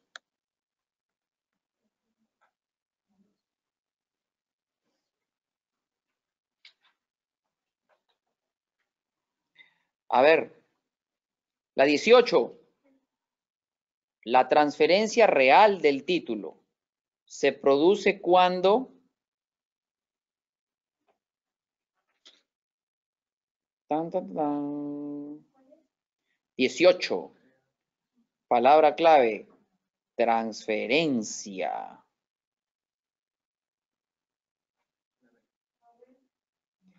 Qué bueno, la B, porque ahí dice cuando es entregada y aceptada voluntariamente. Porque la palabra clave que era transferencia. A ver este. El término tomar por una compensación justa indica un caso de tom- sí, el término tomar por, tomar por una compensación justa. Tomar, te lo quito, pero, pero te pago. Dominio eminente. Correcto, dominio eminente. Te lo quito, pero te pago.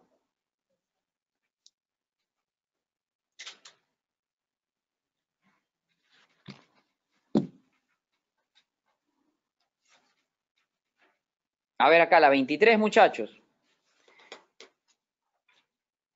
23. ¿En cuál de estas cláusulas de una escritura se puede encontrar la duración de la tenencia que está siendo transferida? Avendum, claro. Ahí sí cabe avendum, claro.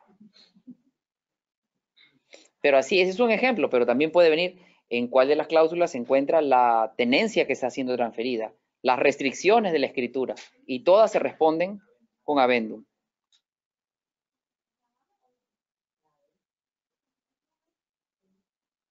Vamos a estudiar ahora los tipos de escritura. Tipos de escrituras y tenemos que hay cuatro tipos. Primero, la escritura de renuncia o finiquito. Se llama quick claim deed. Dice, es el tipo de escritura que no ofrece ninguna garantía al receptor con respecto a la calidad del título que le están transfiriendo. Imagínate, no ofrece ninguna garantía. ¿Cómo es eso? Yo voy a comprar una propiedad cuando no me garantizan nada. La respuesta es sí, todos los días lo hacemos. Porque lo que más le importa al nuevo dueño no es lo que diga la escritura, sino que, que se lo puedan asegurar. Hoy por hoy, más que la escritura, el seguro de título es lo que me importa. Si hay una compañía que me dice, yo te doy un seguro de título sobre tu escritura, yo agarro cualquier papel porque lo que, lo que pase Está garantizado. está garantizado. Porque antes de entregarme el seguro, la compañía tiene que hacer una investigación para ver si no hay ninguna deuda. Y si encontraran alguna deuda, te dicen, yo te cubro todo menos esta deuda. Y ahí tú te alertas y dices, bueno, ya yo tampoco la compro. Pero si la compañía de seguro de título te dice, sí, yo te la aseguro, ya está. Yo a quien le voy a reclamar es a, la compañía de seguro de título, no al dueño anterior, que quién sabe dónde se vaya a meter después. Y así que yo lo encuentre, dice, sí, pero ¿qué me vas a quitar? No tengo nada, ya me gasté el dinero. En cambio, el seguro sí te responde. Muy bien. Entonces, quiero que subrayen para el examen del curso dos preguntas acá, B y C. Dice, la escritura de finiquito, que así es como le van a llamar en, el examen del curso, curso y curso. Se usa para remediar defectos que pueda tener el título. ¿Sabes por qué se usa para remediar defectos? Porque lo puedes vender con defectos. ¿No ves que no lo estás garantizando? Es como un carro que tiene un poquito de problemas. No se sabe cuándo va a dejar de funcionar. Te lo vendo sin garantía. Una escritura de finiquito o quick claim deed es eso. Te lo vendo sin garantía. No te garantizo nada. No sé si, si te la puedan quitar, no sé si tenga deudas. Lo único que estoy claro es que yo que te la, yo que te la estoy vendiendo, yo no te la voy a quitar. Pero no sé si el banco venga y te la quite. No. Se usa mucho el quick claim deed. Se usa mucho en los casos de divorcio, en donde uno de ellos cede la parte que le corresponde de la propiedad al otro. Entonces lo hace a través de un quick claim deed. Le dice ya, yo te cedo mis derechos, pero no te garantizo nada. Se hace un quick claim deed. Tiene lógica ahí, ¿no? Está bien, ya yo me salgo de la propiedad. Me salgo, pero no me vuelvas, pero no me vuelvas a preguntar nada. Sí, ya me voy. Renuncia, finiquito. Y dice que es la más favorable desde el punto de vista del que vende. Claro que es favorable porque no tiene ninguna garantía, no tiene ningún problema en el futuro. Si algo sale mal, ni me mires, yo no te voy a responder. Examen del curso. Nada más de por aquí. Vamos a pasar a la siguiente página. Y vamos a hablar ahora de la escritura de garantía general. No sé si estará en la siguiente página. Sí, acá está en la siguiente página. Escritura general, de garantía general, dice, es el tipo de escritura que garantiza el título contra todo lo que pueda pasar en el futuro. Contiene las tres cláusulas de la escritura anterior más, ¿qué es lo importante saber de aquí? Que la escritura de garantía general es la que más te garantiza contra todo lo que le pueda pasar en el futuro. Y que tenemos que subrayar para el examen del Estado este convenio, el Quiet Enjoyment. Tenemos que subrayar ese convenio, el Quiet Enjoyment.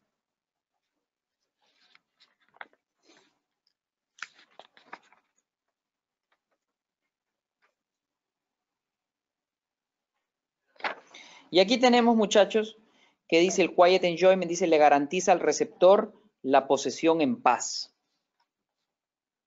Nadie te va a molestar, tú vas a estar tranquilo en tu casa, nadie te va a quitar tu casa. Se llama quiet enjoyment. Estado, sí, estado.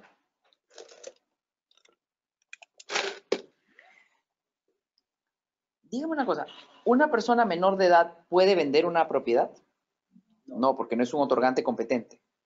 Una persona que se encuentra eh, fuera, de, su, fuera de, sus, de sus cabales, tampoco, ¿verdad? ¿Un muerto puede vender una propiedad? No, como la firma, ¿verdad? Ya. Entonces, lo que, vamos a, lo que vamos a estudiar a continuación se llaman escrituras para propósitos especiales.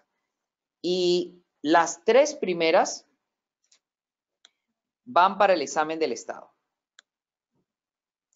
Recuerden que de este capítulo son siete puntos en el examen.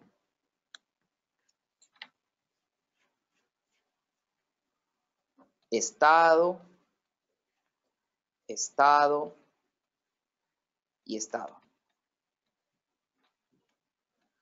Son escrituras para propósitos especiales. Por ejemplo, la escritura de representante personal se usa para transferir el título que estaba a nombre de una persona que ya falleció. Ya está. Entonces, acá, ¿qué voy a poner? Voy a poner muerto. Si el dueño está muerto, se usa la escritura de representante personal. Vamos ahora a la escritura de guardián. O en el examen del Estado sale tutor. Tutor. La escritura de tutor la escritura de guardián se usa cuando el propietario es un menor de edad.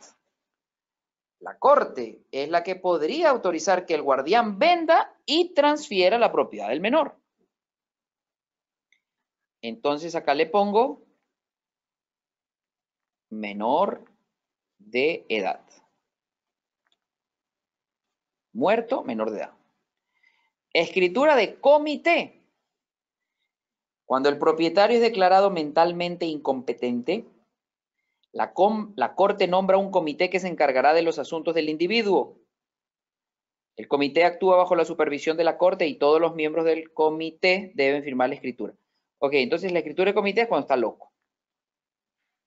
Muerto, niño y loco. Está muerto, representante personal. Es niño, de tutor o de guardián. Y cuando está loco, la escritura de comité.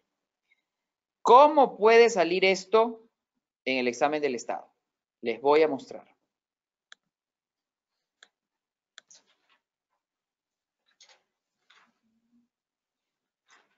La pregunta 25, por favor.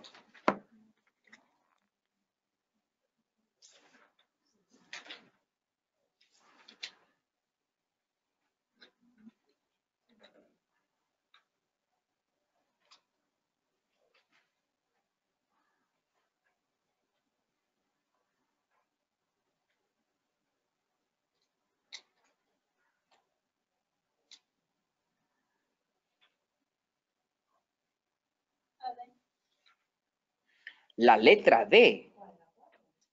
La 25, letra D.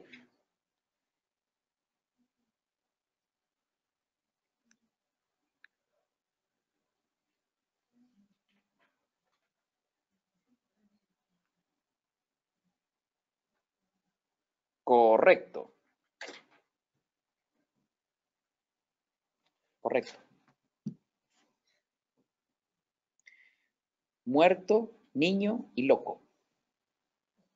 Eso pregunta el examen del Estado. ¿Tú te acuerdas de eso, no? ¿Sí te acuerdas? No te voy a decir que la respondiste bien. Muerto, niño y loco. Pero tú la viste esta pregunta entonces. Claro.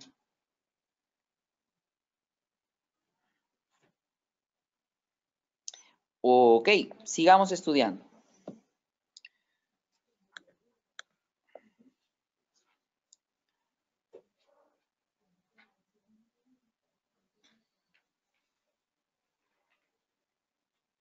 Aquí.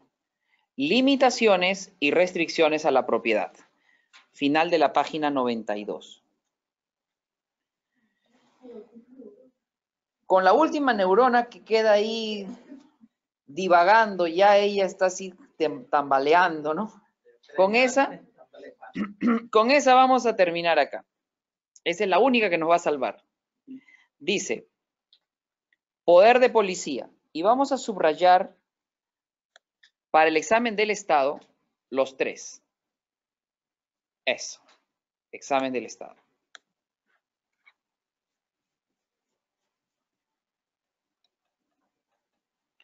Hoy tuvimos cuatro puntos en el capítulo 7, ocho puntos en el capítulo 8, van 12, y siete puntos en el capítulo 9, van 19. O sea que entre ayer y hoy hemos hecho 49 puntos del examen, exactamente la mitad. Imagínate, nos falta la mitad.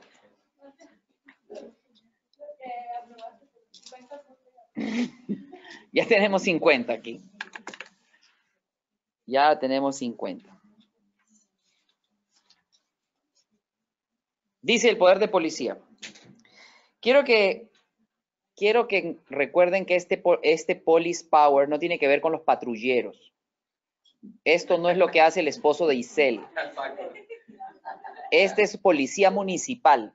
Estos son los que van en los carros a tomar fotos de la, de la fachada de la casa, que se dan, esos que están revisando si estás haciendo una obra para, para ver si está con permiso. Ese es el police power, entre otras cosas, entre otras cosas. Dice, representa el poder más amplio que tiene el gobierno local para restringir el uso de la propiedad privada. El propósito de la restricción es de proteger el bienestar y la salud del público en general. De este poder vienen muchas de las ordenanzas, regulaciones de zonificación, códigos de construcción, etc. Te voy a poner un ejemplo. Yo tengo un terreno y en ese terreno yo quiero hacer un edificio de 20 pisos. Voy a la ciudad y me dicen, no, ahí no se puede hacer eso. ¿Por qué? Porque no hay estacionamiento, porque no es la zona, porque es una zona residencial. Ahí lo que puedes hacer en tu terreno es una casa. Pero si sobra espacio, bueno, ponle jardín. Pero ese terreno es R1, que significa Residential 1, una sola casa. Pero es de 5 acres, pero es una sola casa. Unifamiliar. Es unifamiliar. Ni siquiera tuvo que ser dos. Unifamiliar. Así. Y no lo puedes hacer, ¿ah? No lo puedes hacer. Eso se llama police power. Es decir, que esas personas son las que. Esas, sí, y una de las cosas buenas de este país es eso. Porque ahí en nuestros países todo el mundo ha hecho todo donde quiere y entonces es un desorden porque están las casas mezcladas con los negocios y no hay estacionamiento en los negocios y las casas funcionan como restaurantes y la gente abre su, su garaje y hace una bodega y es un desorden. Acá no. Acá tú no vas a ver, ah, imagínate en tu, en tu urbanización o qué buena idea, en mi, urbaniz- en mi edificio son 700 apartamentos, tú dices, ¿no? Voy a abrir una bodega para que la gente, cuando se le olvide algo, no tenga que ir y subirse a su carro, que venga y que me compre aquí. Aquí en mi sala yo voy a poner mi bodega. A mí no me importa, yo no recibo a nadie. No puedes. No te dejan. O por ejemplo, eh, yo acá en mi casa voy a hacer cuartos que van a aparecer en nichos y voy a alquilar camas. Entonces tú te metes ahí a tu, a tu, a tu nicho y le alquilo. Hay un montón de trabajadores del campo que estarían felices de, de- alquilarme solamente ahí un hueco, como en Japón. Pero nadie te da permiso para eso. Tienen que haber ventanas, tienen que haber mínimo de pies cuadrados, o sea, todo tiene una regulación. Tú no puedes poner cualquier ventana, tú tienes que poner una ventana ahora contra huracanes. Ahora el problema son los techos. Ahora lo que volaría sería el techo, la ventana no, pero por el techo, Sale lo que sea. por ahí ya está perdiste. Entonces, la primera, la primera planta no sale volando, pero la segunda. Correcto, correcto. Y entra agua y que al final se destruye todo. Sí, es increíble. En la primera potencia, que ya no lo es. Ya no. La China está ahí oliendo la, la- la nuca, ¿no? Así. Y pero no son, no son nada santos tampoco los chinos. ¿ah? En lo absoluto. Nada santos. Tú sabes que ahí te están filmando todo el día y te pierdes puntos si te pasas caminando la luz roja.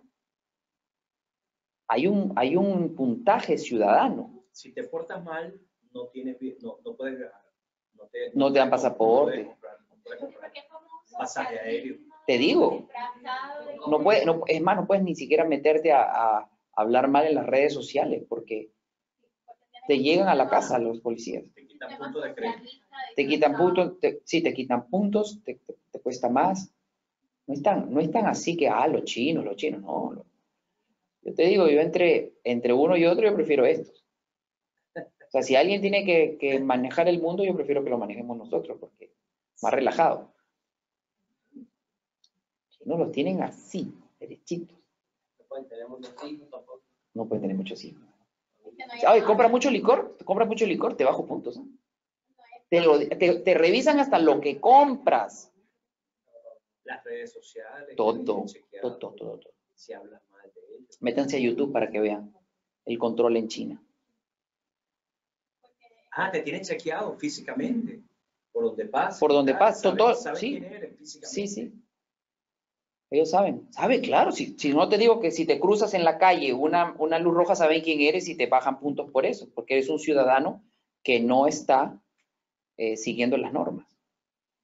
Mira que si compras mucho licor ya estás mal, pero si compras pañales y leche, ganas puntos. Estás responsable. Haz- broma aparte así es. Pero analice, estos, estos chinos son tantos, tantos, tantos, que yo creo que si no tuvieran este control, ese país sería un desastre. Porque No sé cómo es, pero lo que sí sé es que, es que han desarrollado una manera de producción que nadie les puede poner la mano. Ellos nos llevan, o sea, no se trata, no se trata de barato o caro, se trata de capacidad. La mano de obra calificada que tienen allá, no la tenemos acá. O sea, no es, no es así de que, no, yo me traigo los empleos de Estados Unidos, ¿quién te lo hace? Acá no saben. Acá no saben. Allá hay ciudades enteras. Mira, hay una ciudad que lo único que hace es paraguas. Solo paraguas. Hay otra ciudad que lo único que hace todo el año ¿ah? eh, adornos de Navidad. Toda la ciudad trabaja en lo mismo. ¿Tú te imaginas si todo el mundo trabaja en lo mismo, cómo, cómo eh, ahorraríamos en comprar las materias primas?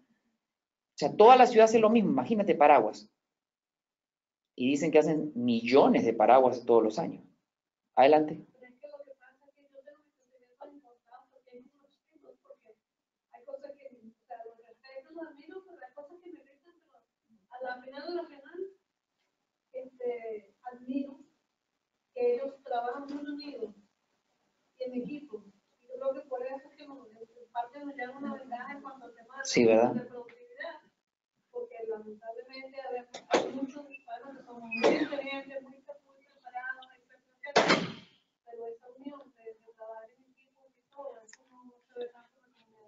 Por ejemplo, en Japón.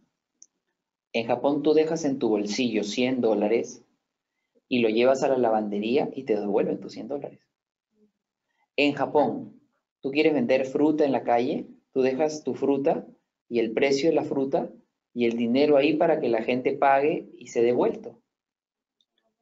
El honor, eso, eso nos falta mucho acá, que el oriental tiene eso muy arriba, ¿no? Y es parte de- del éxito de una sociedad el que la gente tenga valores. Una honestidad a prueba de balas, es el honor de un como un samurái. Quizás, ojo, ojo, ojo, quizás nos estén vendiendo igual que nos vendieron acá y ya no es así, ¿verdad? Puede ser. Porque nosotros nos hacíamos una idea de acá por las películas y todo y veíamos este país como que todo el mundo dice la verdad, que todo es lo máximo. Quizás ahora uno va a China y dice, ya no es así tanto, ya no es tanto así. Quizás, no sé. Eh, no te puedo decir detalles, pero sí hay un sistema de puntaje que te, que te califica por tu comportamiento en Internet, lo que compras y cómo, cómo te comportas en la calle. pero eso te afecta a Eso te afecta porque te bajan puntos y los créditos te salen más caros. O sea, te, te castigan en ese aspecto. Sí. No sé cómo se llama, pero lo estuve viendo en, en YouTube. Entonces, el poder de policía, el police power, regula eso. Y está bien, porque gracias a, a eso tenemos lo que vemos acá, por ejemplo. Un lugar con oficinas, un hotel, unos restaurantes, organizado, planificado. Uno le da gusto. Uno dice, oye, qué bonito, mira, tenemos el, la escuela, el hotel, la- la- las, este, los restaurantes Las jardinerías. y el social security arriba. no, más gracias. ¿no? Sí. Por eso es que tenemos éxito acá, entre otras cosas. Y también, fíjense cómo, cómo durante estos tres días hemos dicho cosas malas y cosas buenas de vivir acá. O sea, acá no hay ninguna, ningún apasionamiento, ni anti, ni pro. Acá no es ni anti ni pro. ¿Qué es lo que es? Lo que uno siente.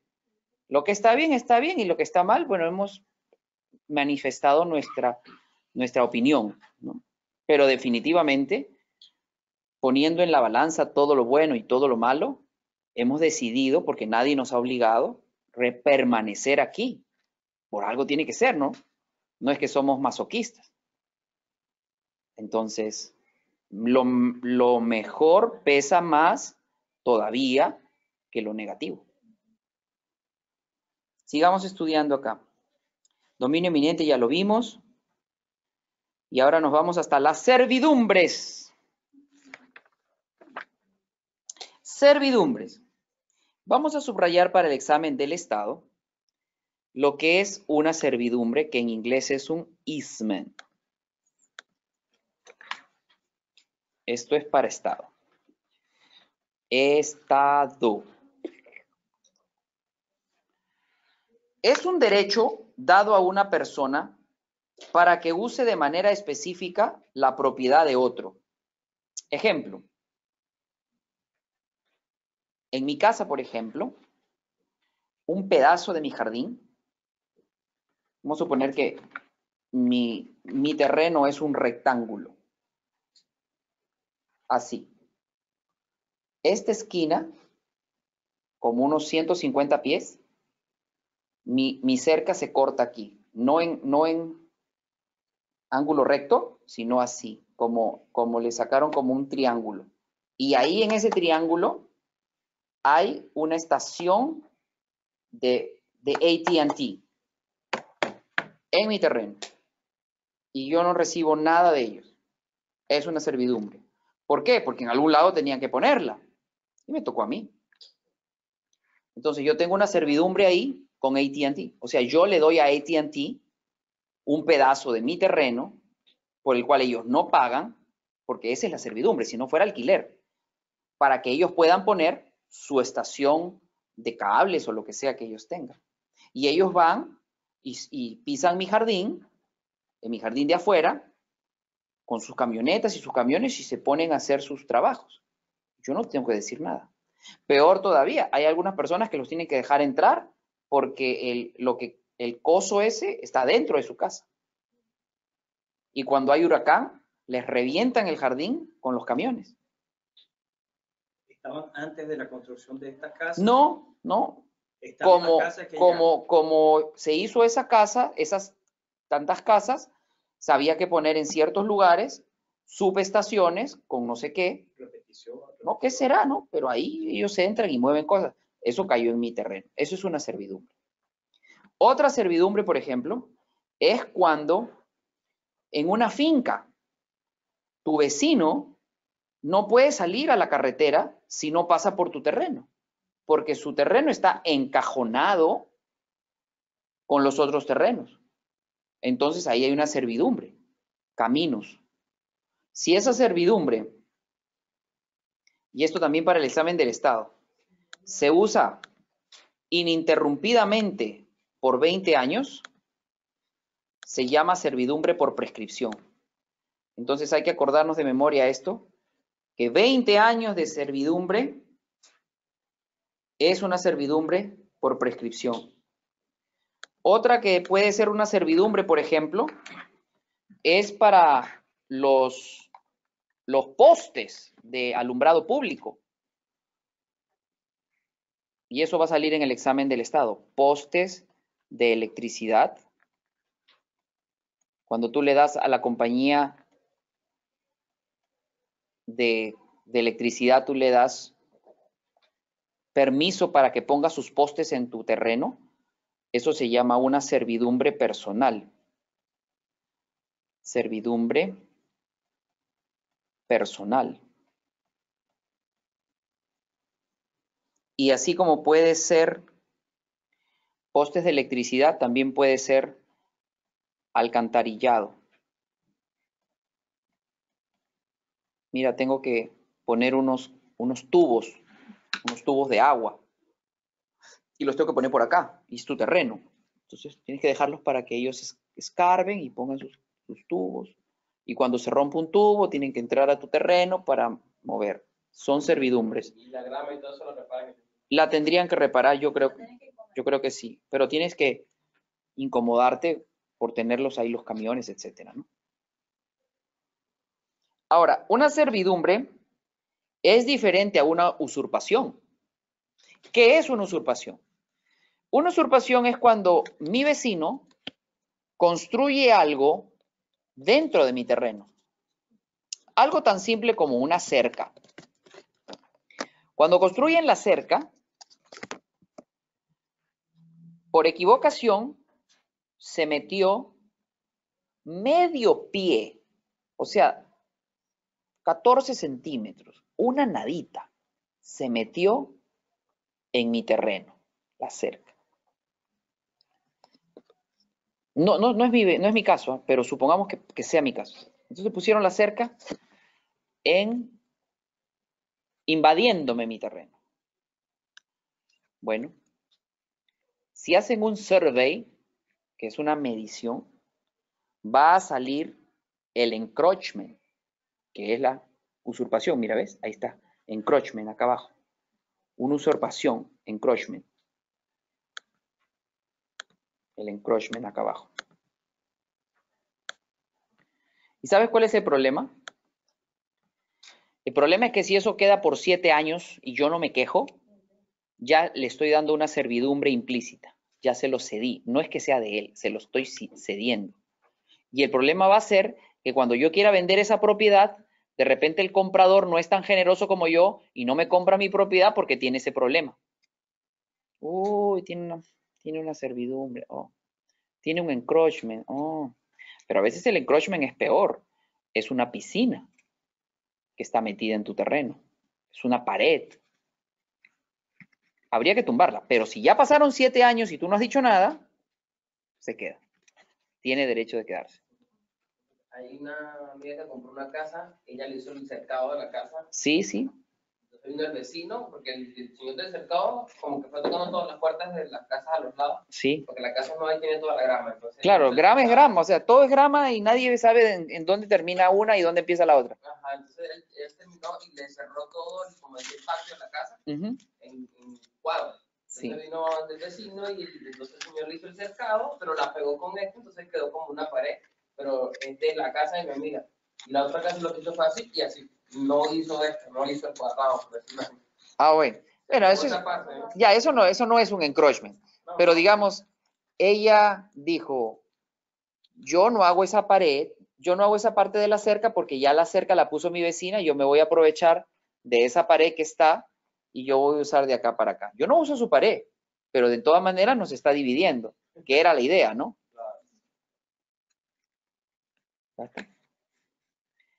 Y así hemos llegado casi al final. Vamos a pasar a la siguiente página. Y ya nos vamos, casi, casi ya nos vamos. Tipos de arrendamiento. Arrendamiento bruto para el examen de la clase. Son dos preguntas facilitas. Clase. Y de arrendamiento es ese nada más. Dice, es cuando el inquilino solo paga una renta fija y el arrendador se encarga de todos los gastos de la propiedad, tales como impuestos a la propiedad, seguros y mantenimiento. Cuando ustedes alquilan una casa, es un gross lease. Ustedes le pagan al dueño 3 mil, por ejemplo, 3 mil, redondo. Y el dueño de ahí paga mantenimiento, impuestos a la propiedad, seguro, todo. Es todo. Es un gross lease. Gross lease, arrendamiento bruto. El inquilino paga una renta fija y el arrendador se encarga de todos los gastos. Ahora vamos a sesión. Vamos más abajo.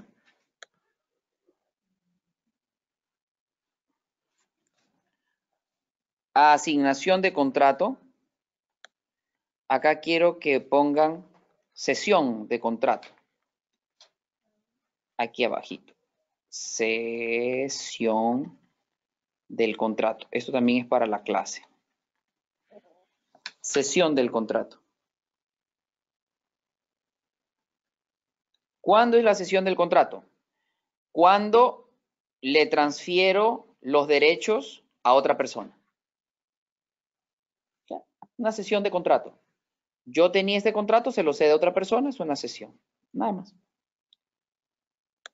Vamos a pasar ahora a los gravámenes superiores. Y esto lo vamos a subrayar para el examen del Estado nada más.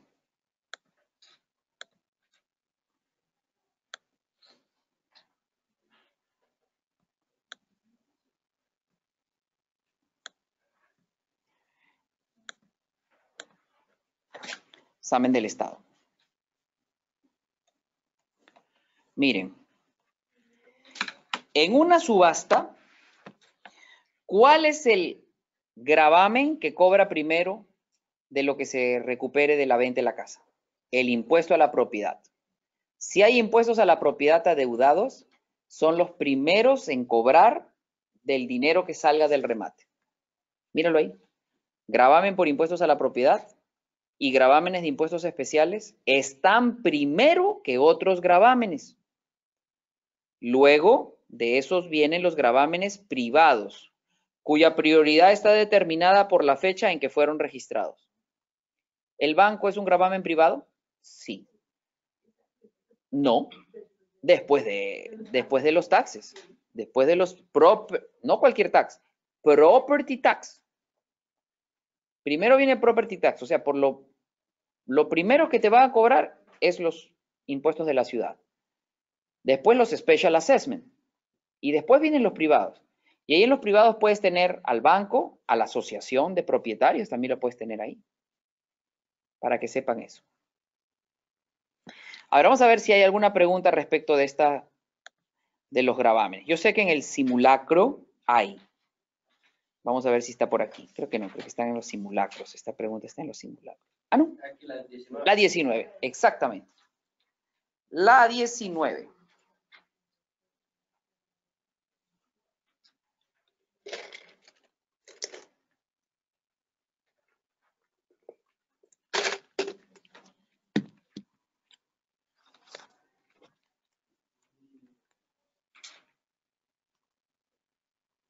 Mr. B es una persona que anda por ahí.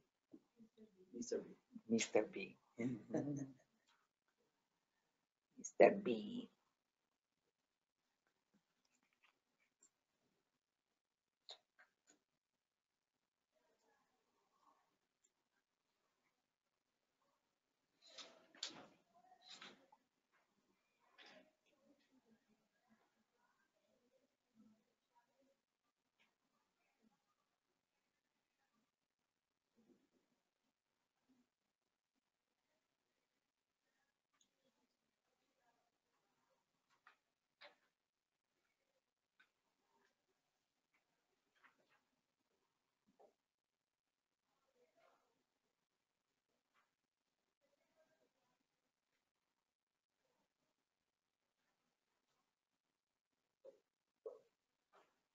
Los que primero dijo que eran los impuestos del Estado Civil, el Property Después eran los. Special Assessment. Después los, eh, los, que, los privados que van. Links. Links. Links. Con N. Links. Links. Bueno, esa frase que está ahí es muy uh, justa y, y correcta. ¿Qué dice? No sé por qué está, no tiene nada que ver con otras cosas, pero en general en la vida, claro, la confianza en sí mismo es el primer secreto del éxito. Claro, está ahí porque yo le, le intercalo, son pildoritas, para que cuando estás pasando por ahí, lees y dices, ah. Está bien, ¿no? Sí. Está pensado. está pensado para que les dé ánimo.